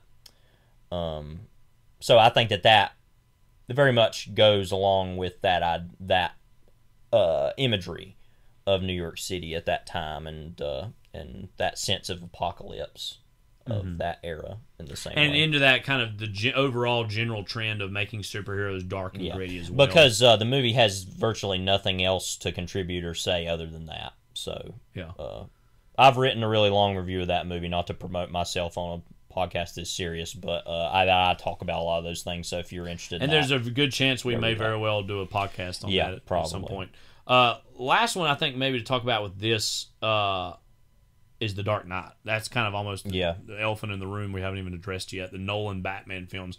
You know nolan's arguably the most uh, influential director of the past 20 years in terms of how he's influenced so much of the direction of these blockbusters. Um, what do you think about the decision to reintroduce the Joker in the context of maybe a damaged war veteran of the you know Iraq War, the War on Terror, and explicitly to draw connections maybe between the Patriot Act and what Bruce Wayne or Batman is doing to try to catch the Joker. What that maybe is suggesting yeah. about power, Um, particularly in 2008 when it was released. I mean, You not know, that long after that. I think that I think a lot of people have said this, but uh, it's pretty genius. Um, now, first of all, I think it's very very complicated. Now, Lucius Fox in the film says this is wrong. You know that this is happening, but the movie though So it never tells us basically, oh no, we got to no, do it. uh, so that's complicated about the Patriot Act and some of that stuff. As far as I know, because then the movie says nobody catches the Joker, and he's not going to use it for ill-gotten gain, uh, because he's a protector um, of the city, And that he entrusts But- Lucius Fox to. to destroy it. once destroy it once Yeah, so. I guess he, so I guess in that way it kind Oh, of so justifies it's good in it. this way, but not in that I guess way. it justifies it at least that it's destroyed Mm-hmm. after the fact. But um but as far as the Joker, I mean, I think that is a really bold. a very bold, very interesting, very perceptive uh version of the Joker. Um and Um, I mean, everybody said that, but I think it's it's very, and I, I'm I'm fascinated by the idea of of a terrorist essentially holding a a city hostage um, to uh, degrade uh, a sense of justice um, that the city and that he's making dear. this bet Right. on that humanity will turn on itself, Right. And in Yeah. a surprise move, it doesn't. Yeah, so it's a very optimistic uh, movie, actually, in the sense that the prisoners Yeah, say no, yeah, we're not doing that. You know. yeah. Um, and so in that sense, it's it's actually a sort of on the surface complicated, but ultimately good natured exploration of terrorism. Um, in a superhero movie, it's a very. I mean, I know The Dark Knight is one of the most beloved movies of all time. It's actually a very complex, interesting Yeah. version of that that I don't think actually as much about as I should. Um, Well, uh, you know, but- just speaking as Batman fans, you Yeah. know, we hold the Keaton movies and Burton Yeah. movies to be very dear, and those are I don't know. Speak for both of us. I'll say those are our canonical Batman to us, and we like the Nolan Batman movies, but we also are kind of like I don't know if quote moving on at that time, but like there were other Nolan movies or other movies of that time that sometimes occupied. Our, I mean, when they were those movies were coming out, they were big deals, no question. But I'm Oh, saying yeah. after the fact, they've kind of, you know, not, you know, I won't say not stay with, but you know, they just haven't. people love them, but they've kind of they're I mean, just not. we, yeah, we Marvel kind of Dark took Knight over. Rises itself Mm, is even about terrorism and Yeah. about uh, the dangers of a new what terrorism Yeah. can do in modern Yeah, cities. but but well. I think what you're getting at is the Marvel movies kind of obfuscated uh, superhero movies that DC lost out big Yeah. time, and uh, I, I sometimes wonder if the Nolan movies were worth it if that DC didn't get on the bandwagon early enough. But also, I didn't want them to do that, Yeah. and I wanted them to make movies that were like that. So ultimately, yeah, I'm coming back around to thinking no that the Nolan movies were necessary and that I'm glad those exist more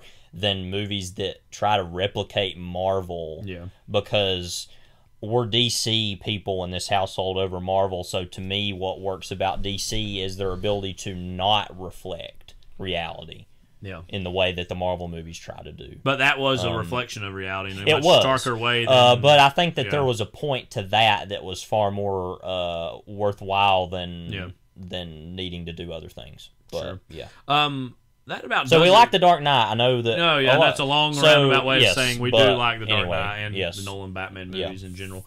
Um, but we wanted to kind of end this talking about some other things, like weird 9/11 era ephemera that has kind of been lost to the cultural memory, but are things that We are people always going to remember. that yeah. growing up in that time we really remember. Um, for one thing, we've already talked a little bit, very briefly, I think about Toby Keith and country Yeah. music of the time.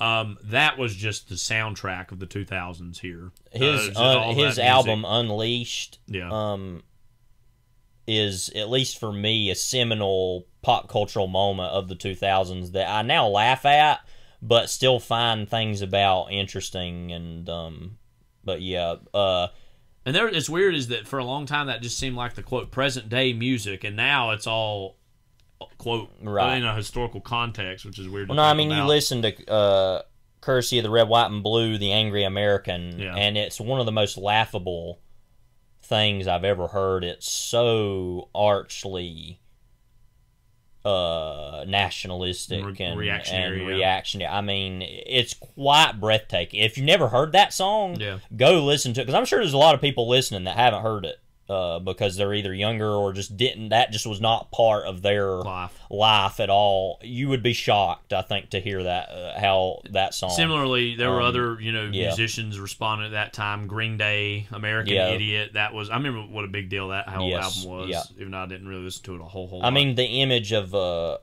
white hand holding a red grenade. right? uh shape was it shaped in a heart Yeah, yeah like is one of the most stunning image i'm not a green day fan i just because i haven't heard Mm-hmm. Right. it's funny because i heard them a lot at the time but i never liked them uh but uh my music opinions were not worthwhile anyway at that time but also that i just don't think i'd like them now either but uh but that i find that image to be very interesting Well, it's and- interesting that and, you know yeah. music like that has to occur a few years after because in the immediate aftermath of something like that, you're not going to have anybody Yeah. out there doing that, and so that's in many ways a backlash Yes. to a lot of the sentiments of Yeah. people like Toby Right. Keith. Dixie Chicks, of course, they faced a backlash as well. They and they've actually had a career resurgence. Thankfully, not that I care particularly about them either, but uh, but that um, which they've had tr- their recent troubles have been about the name Dixie Chicks, and now they're just the Chicks or Yeah. whatever. With you know, but Yeah. um, so yes, that was a big deal when that happened. I remember when they spoke out against the Iraq War, and uh, America went crazy, and th- they were their career was over essentially. but Um, America was at that time obsessed with freedom fries, if one remembers. yeah, you know, because because France was being critical of our foreign policy. Well, can't have French fries. Well, you know, and something fries. that I realized when we were talk, we were I, we read some stuff about this yesterday about uh, they mentioned freedom fries. I finally realized why. It's this sounds stupid, but I finally realized why in the 2000s and 2010s it was such a cool. And I teach middle schoolers, so hey, you know, love y'all. But uh, in my day, Mm-hmm. uh, the whole thing was either talking about a, uh, and we can talk about this later when we talk about this movie. A, how uh, Jack would would have fit on the piece of wood in Titanic. That's all anybody want to talk about for some reason. I'm being dead serious when I say this Yeah, is something I that people talk about. that, yeah. Or that, um, and this was years. It was like ten years after that too, but people Yeah. are still talking about. It. Or the fact that uh, France never won a war. Uh, and we had to do everything for them, and I think that all came out of that idea of France being critical of us, and it's like they're like, well, "What have you ever done?" And we're and the freedom fries thing was the same thing as Liberty sandwiches with the hamburger Yeah. and Liberty. Uh, what was it they called sauerkraut? Liberty uh, sausages. sauce. I don't Yeah. know. Anyway, that's I mean that's a really stupid uh, idea to do Something like that I had kind of forgotten about, but you you uh, routinely remind me of. Uh, Saddam says S E Z in Wizard magazine was that? No, it was that was Mad, Magazine. Yes, Never mind, never yeah, mind. Mad Magazine Yeah. used to every and Mad Magazine was actually another unfortunate. Which it's interesting because Mad Magazine was such a big deal in the '60s and '70s and '80s, particularly. Um, All those actually started in the 50s, like, but, yeah. yeah. Um, but the um, which honestly, and I and I and I quite like Mad Magazine, but honestly, you look back on it, and it's probably kind of the dumbest thing on the face of the earth. A lot of that Most stuff basic. is really stupid. Um, but particularly in the 2000s, it was really in the gutter. Um, Mm-hmm. and most of their comedy came out of lampooning uh, the the Iraq War, Mm-hmm. um, and so, and also mixing that with in strange a lot of strange ways uh, the Lucas uh, resurgence, George Lucas Yeah, right. resurgence with the uh, prequels. pre- Star Wars prequels. So it was a very strange time of doing a lot of those things. That's another thing we forgot Mm-hmm. to mention is the political nature, especially of Attack of the Clones. Yeah. Um, and I think that is very interesting and actually very worthwhile. I know a lot of people don't like that. You're wrong. Um, but I find a lot of that to be really interesting. But anyway, a lot of people Mm-hmm. talk about that. But the in Wizard or uh, Mad Magazine Yeah. every week. Mm-hmm. This was after the assassination of and uh, well execution of Saddam Hussein. They had this one picture of him looking crazy, him like talking, Yeah. and every week it would be him New saying caption. something different. And that was something that and that went on for just a little while after um his execution for longer than it should have. By the way, if you're trying to look this up on the internet, uh, I have not been able to find this, but I swear it happened, uh, and it was a thing that really did happen. I, he's Kyle's looking it up now. I want to see if we can find it, but I, I don't know that uh, we can. I'm typing in Uh. Saddam says Mad Magazine. Let's see. A lot of covers of things. Go back that- to recurring features in Mad. Actually, go go back to that those images real quick. Let's see. If you go to recurring features in Mad Magazine, Saddam says. Yep, there it is. on the the same page. photograph of Saddam Hussein speaking in his 2006 trial. Word balloon was added, making a random reference having nothing to do with Hussein or Iraq. March 2007, MAD contained a statement that due to the circumstances beyond our control, Saddam says feature would be put on indefinite hiatus. Fidel Castro later replaced Saddam with Castro comments. I never knew that. There was an image you that we just saw a minute ago that I used to have. Uh, that Dick Cheney. Uh, 20 one- dumbest people and events and things of 2006. that uh, when that whole thing happened where Dick Cheney shot that guy in a hunting accident, apologized and the guy had to apologize to Dick Cheney. So I remember actually having that that issue. Um, but yeah, just uh, the total um, Tone deafness. tone deafness. I don't even know what the word is of Yeah. that. Is just staggering to me. I mean, I uh, Oh, ha ha! Like, yeah. I'm not saying Saddam, Yeah. I'm not saying no. no. Saddam Hussein was a good person Saddam. Hussein was was uh, uh, a terrible dictator, uh, mass murderer in his own way. I mean, Yeah. you know, I have nothing good to say about Saddam Hussein, but it just really it goes back to what I've my ultimate thesis statement on what we should be going into to, uh, the 20th anniversary of 9/11 is that I don't think anybody really takes this as seriously as we ought to, especially not in the moment because it was so. And I get in a way I get it, but it was so horrific in the moment that nobody actually wanted to deal with it on a serious This way. is this is the case with And- trauma all always, yeah, whether it's interpersonal trauma or yeah. national trauma. People always say you either laugh or cry, and I'm like, well, we might ought to do a little bit more crying because I don't ever see anybody doing it. I mean, of course they did in the moment. I'm Yeah. not saying, you know. I don't want to act like people weren't deeply affected by 9/11. We all clearly were, but as obviously as you get further from something like this, it's easier to joke about. But especially in that time, I'm still surprised that you would see on TV um, the things that I saw of the Iraq War that I've never really got some things I've never really gotten over, and that that was oh Saddam Hussein says blah blah blah. Right, like that's just joke, yeah. really disgusting, frankly. Um, what about uh, Osama bin well, Laden's I death? think it's we a little bit touched on this different, but- already, but you know this happened again I'm almost on the 10th anniversary of 10 years ago now. The, Yeah. uh, September 11th attacks. I'll never forget. Um, we are watching. I was watching Celebrity Apprentice at the time that year.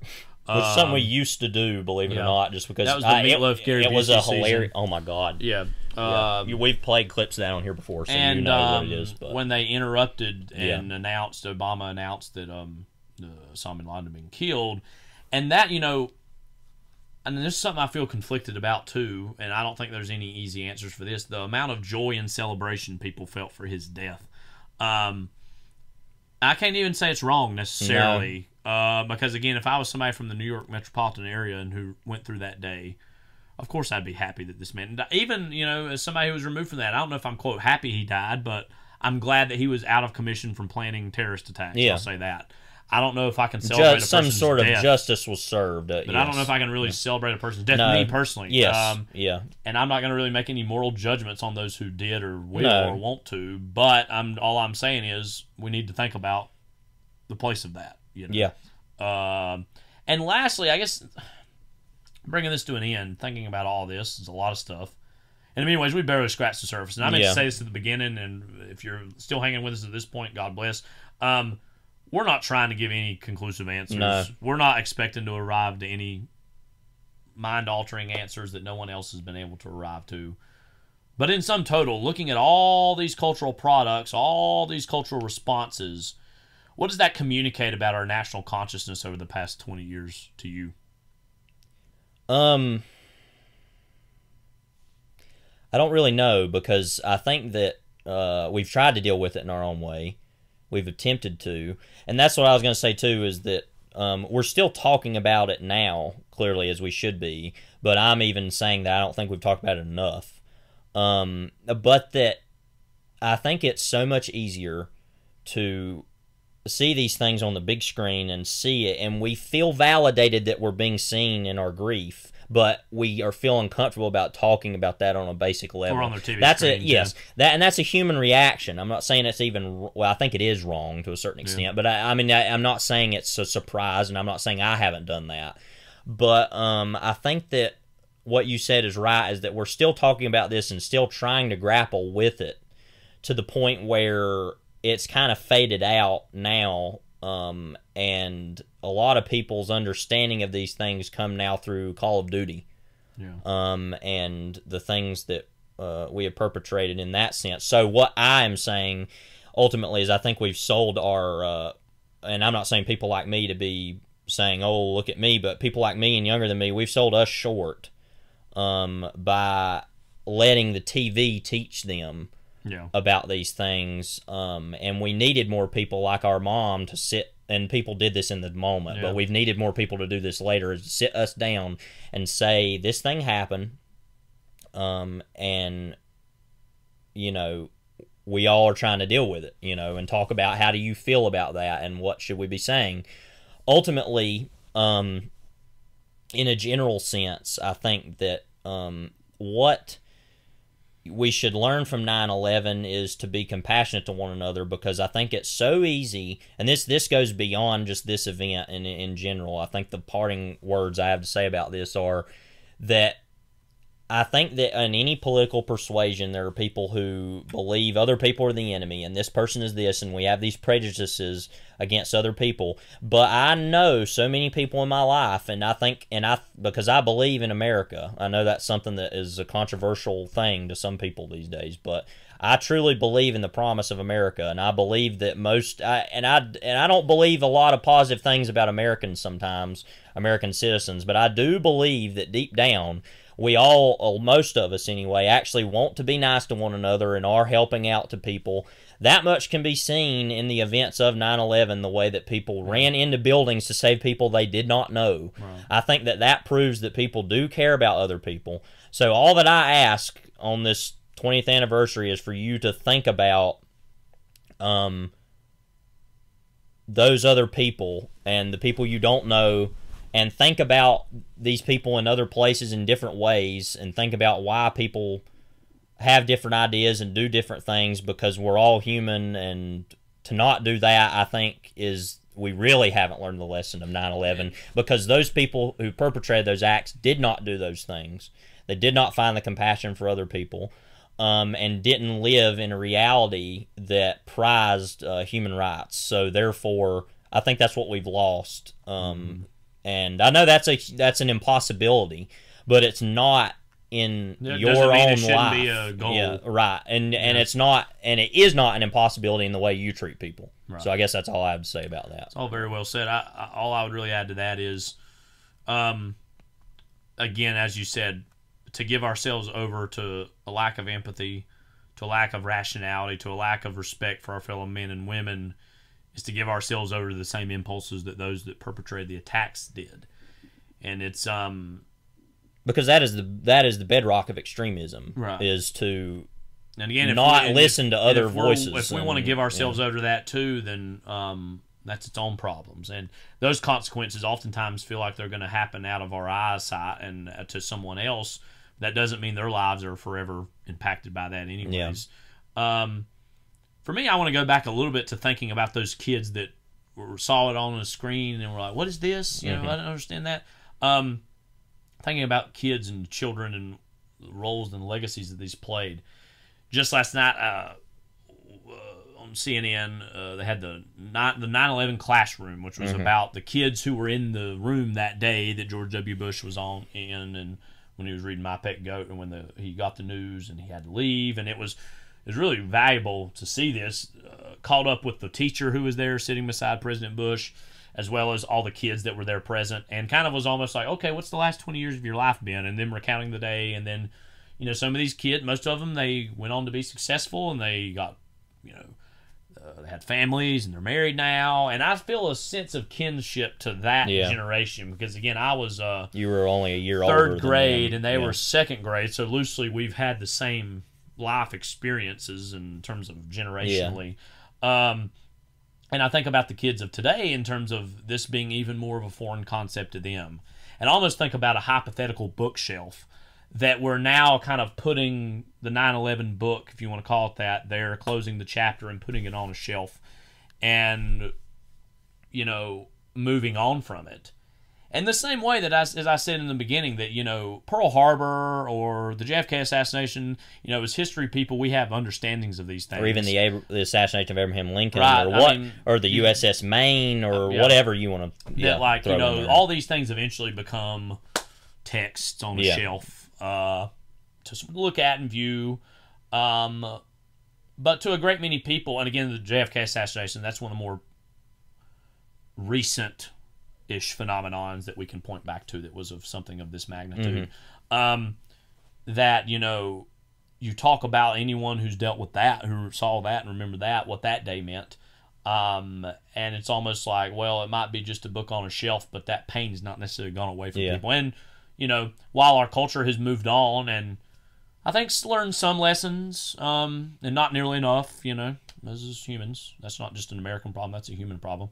Um, that all in all, that there's still a great many people those scars are still in the immediate. Yeah. Um, and just to remember that, and Yeah. you know, for those in, if you ever you know have the uh, opportunity to meet someone who maybe, and I really haven't. it No, I haven't. uh, no. met someone who was there in New York that day and has very vivid memories is just to um you know take what they say seriously and because Yeah. that trauma matters and if nothing else let this be an example of how a nation can receive a trauma and try to swallow it and move on from it uh, Mhm. more than anything else uh and as far as you know another thing we wanted to end on too was just talking a little bit about the literature of 9-11 because one thing i love about literature as an art form is that it's slower it's Yeah. more reserved and it's kind of more patient than almost every other conceivable art form because every other one's got to be out now got to be out quick and not, not to say that people aren't Yeah. pushing books out about Yeah. this stuff early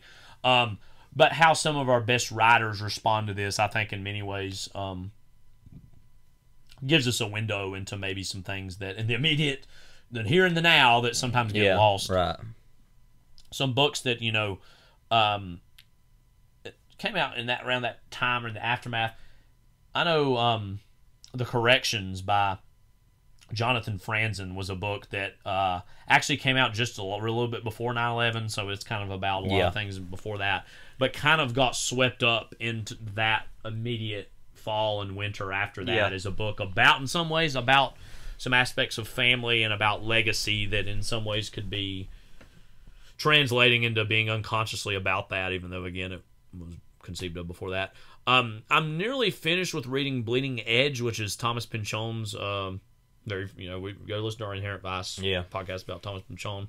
Um, his own attempt to understand that day through a plot that involves a lot of things that seemingly are disconnected from that before that.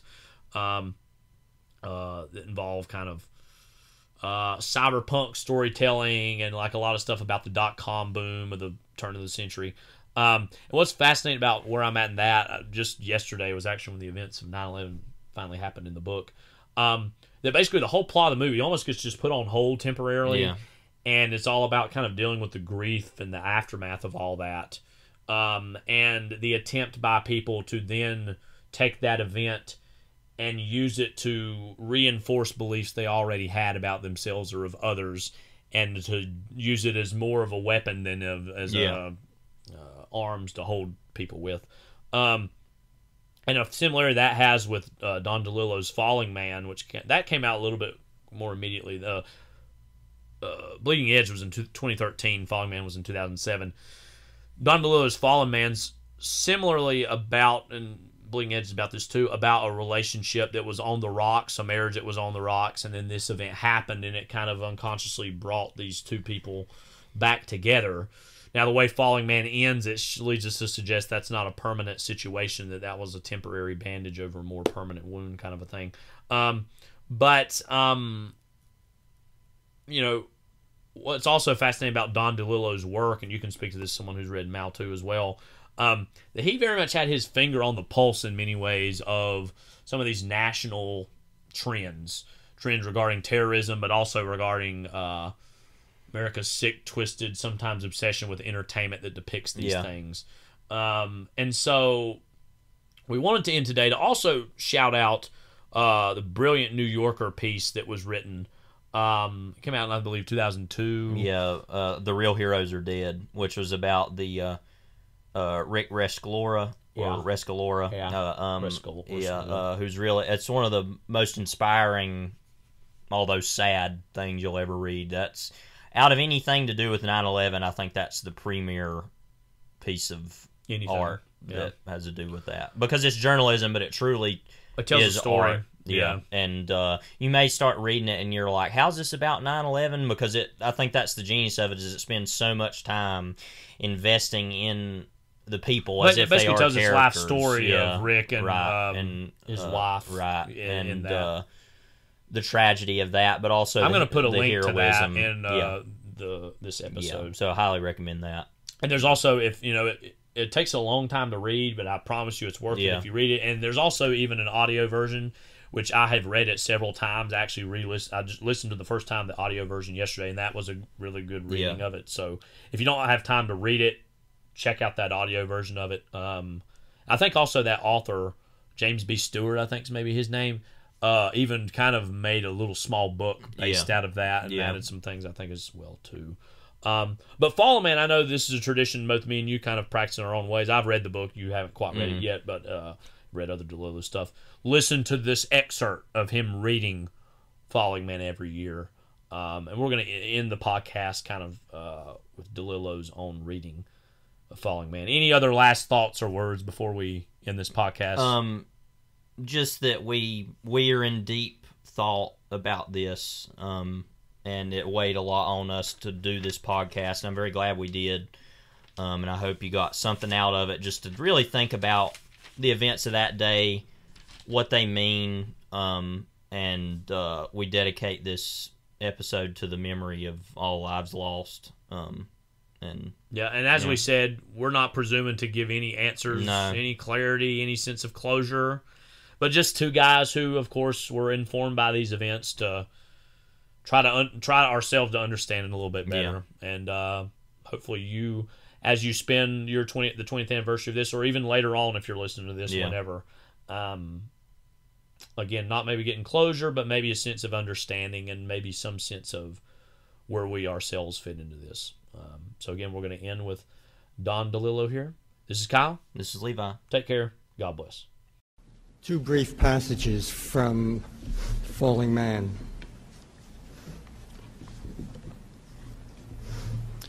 Paper was flying down the hallway, rattling in the wind that seemed to wash down from above. There were dead faintly seen in offices to either side.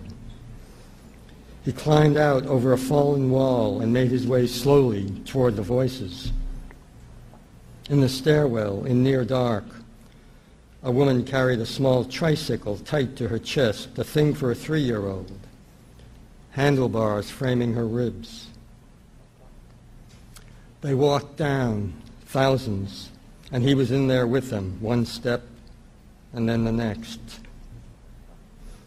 There was water running somewhere, and voices in an odd distance coming from another stairwell or an elevator bank out in the dark somewhere.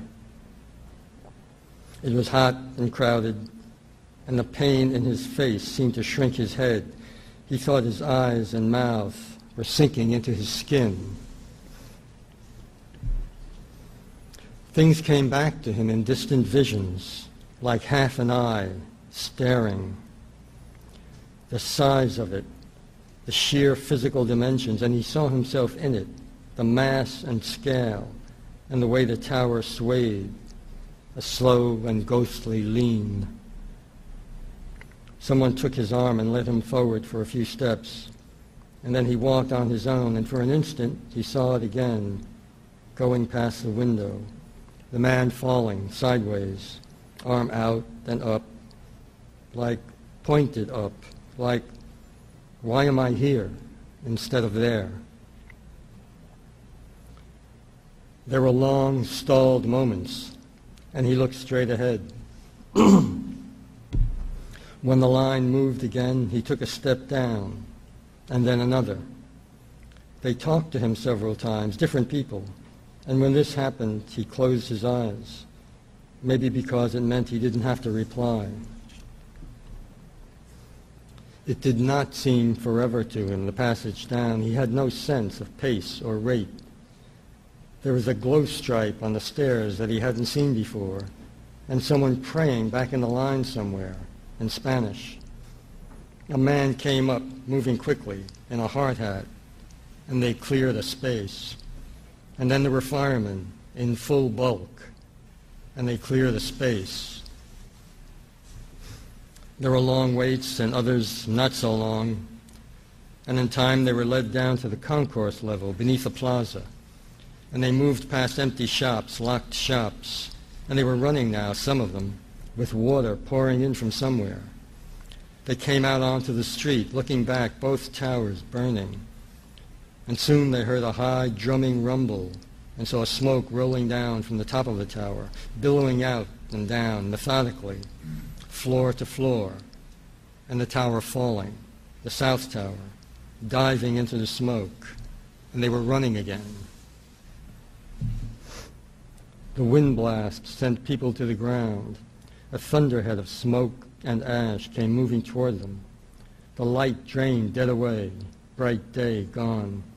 They ran and fell and tried to get up, men with toweled heads. A woman blinded by debris, a woman calling someone's name. The only light was vestigial now, the light of what comes after, carried in the residue of smashed matter, and the ash ruins of what was various and human, hovering in the air above. He took one step and then the next, smoke blowing over him. He felt rubble underfoot, and there was motion everywhere, people running, things flying past. He walked by the Easy Park sign, the breakfast special, and three suits cheap. And they went running past, losing shoes and money. He saw a woman with her hand in the air, like running to catch a bus. He went past a line of fire trucks, and they stood empty now, headlights flashing. He could not find himself in the things he saw and heard. Two men ran by with a stretcher, someone face down, smoke seeping out of his hair and clothes. He watched them move into the stunned distance. That's where everything was, all around him, falling away. Street signs, people, things he could not name. Then he saw a shirt come down out of the sky.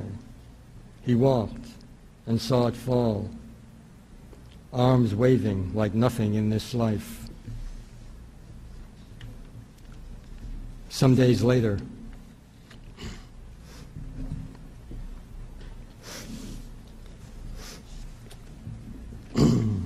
Every, every time she saw a videotape of the planes, she moved a finger toward the power button on the remote. Then she kept on watching. The second plane coming out of that ice blue sky. This was the footage that entered the body, that seemed to run beneath her skin. The fleeting sprint that carried lives and histories, theirs and hers, everyone's, into some other distance, out beyond the towers. The skies she retained in memory were dramas of cloud and sea storm, or the electric sheen before summer thunder in the city, always belonging to the energies of sheer weather, of what was out there. Air masses, water vapor, westerlies. This was different. A clear sky that carried human terror in those streaking aircraft. First one, then the other. The force of men's intent. He watched with her every helpless desperation set against the sky. Human voices crying to God, and how awful to imagine this. God's name on the tongues of killers and victims, both. First one plane, and then the other. The one that was nearly cartoon human, with flashing eyes and teeth. The second plane, the South Tower. He watched with her one time only. She knew she'd never felt so close to someone, watching the planes cross the sky. Standing by the wall, he reached toward the chair and took her hand. She bit her lip and watched. They would all be dead, passengers and crew, and thousands in the towers, dead. And she felt it in her body, a deep pause, and thought, there he is, unbelievably, in one of those towers and now his hand on hers in pale light, as though to console her for his dying. He said, It still looks like an accident, the first one, even from this distance. Way outside the thing, how many days later I'm standing here, thinking it's an accident. She said, Because it has to be. It has to be, he said the way the camera sort of shows surprise. But only the first one, only the first, she said. The second plane. By the time the second plane appears, he said, we're all a little older and wiser. Thank you.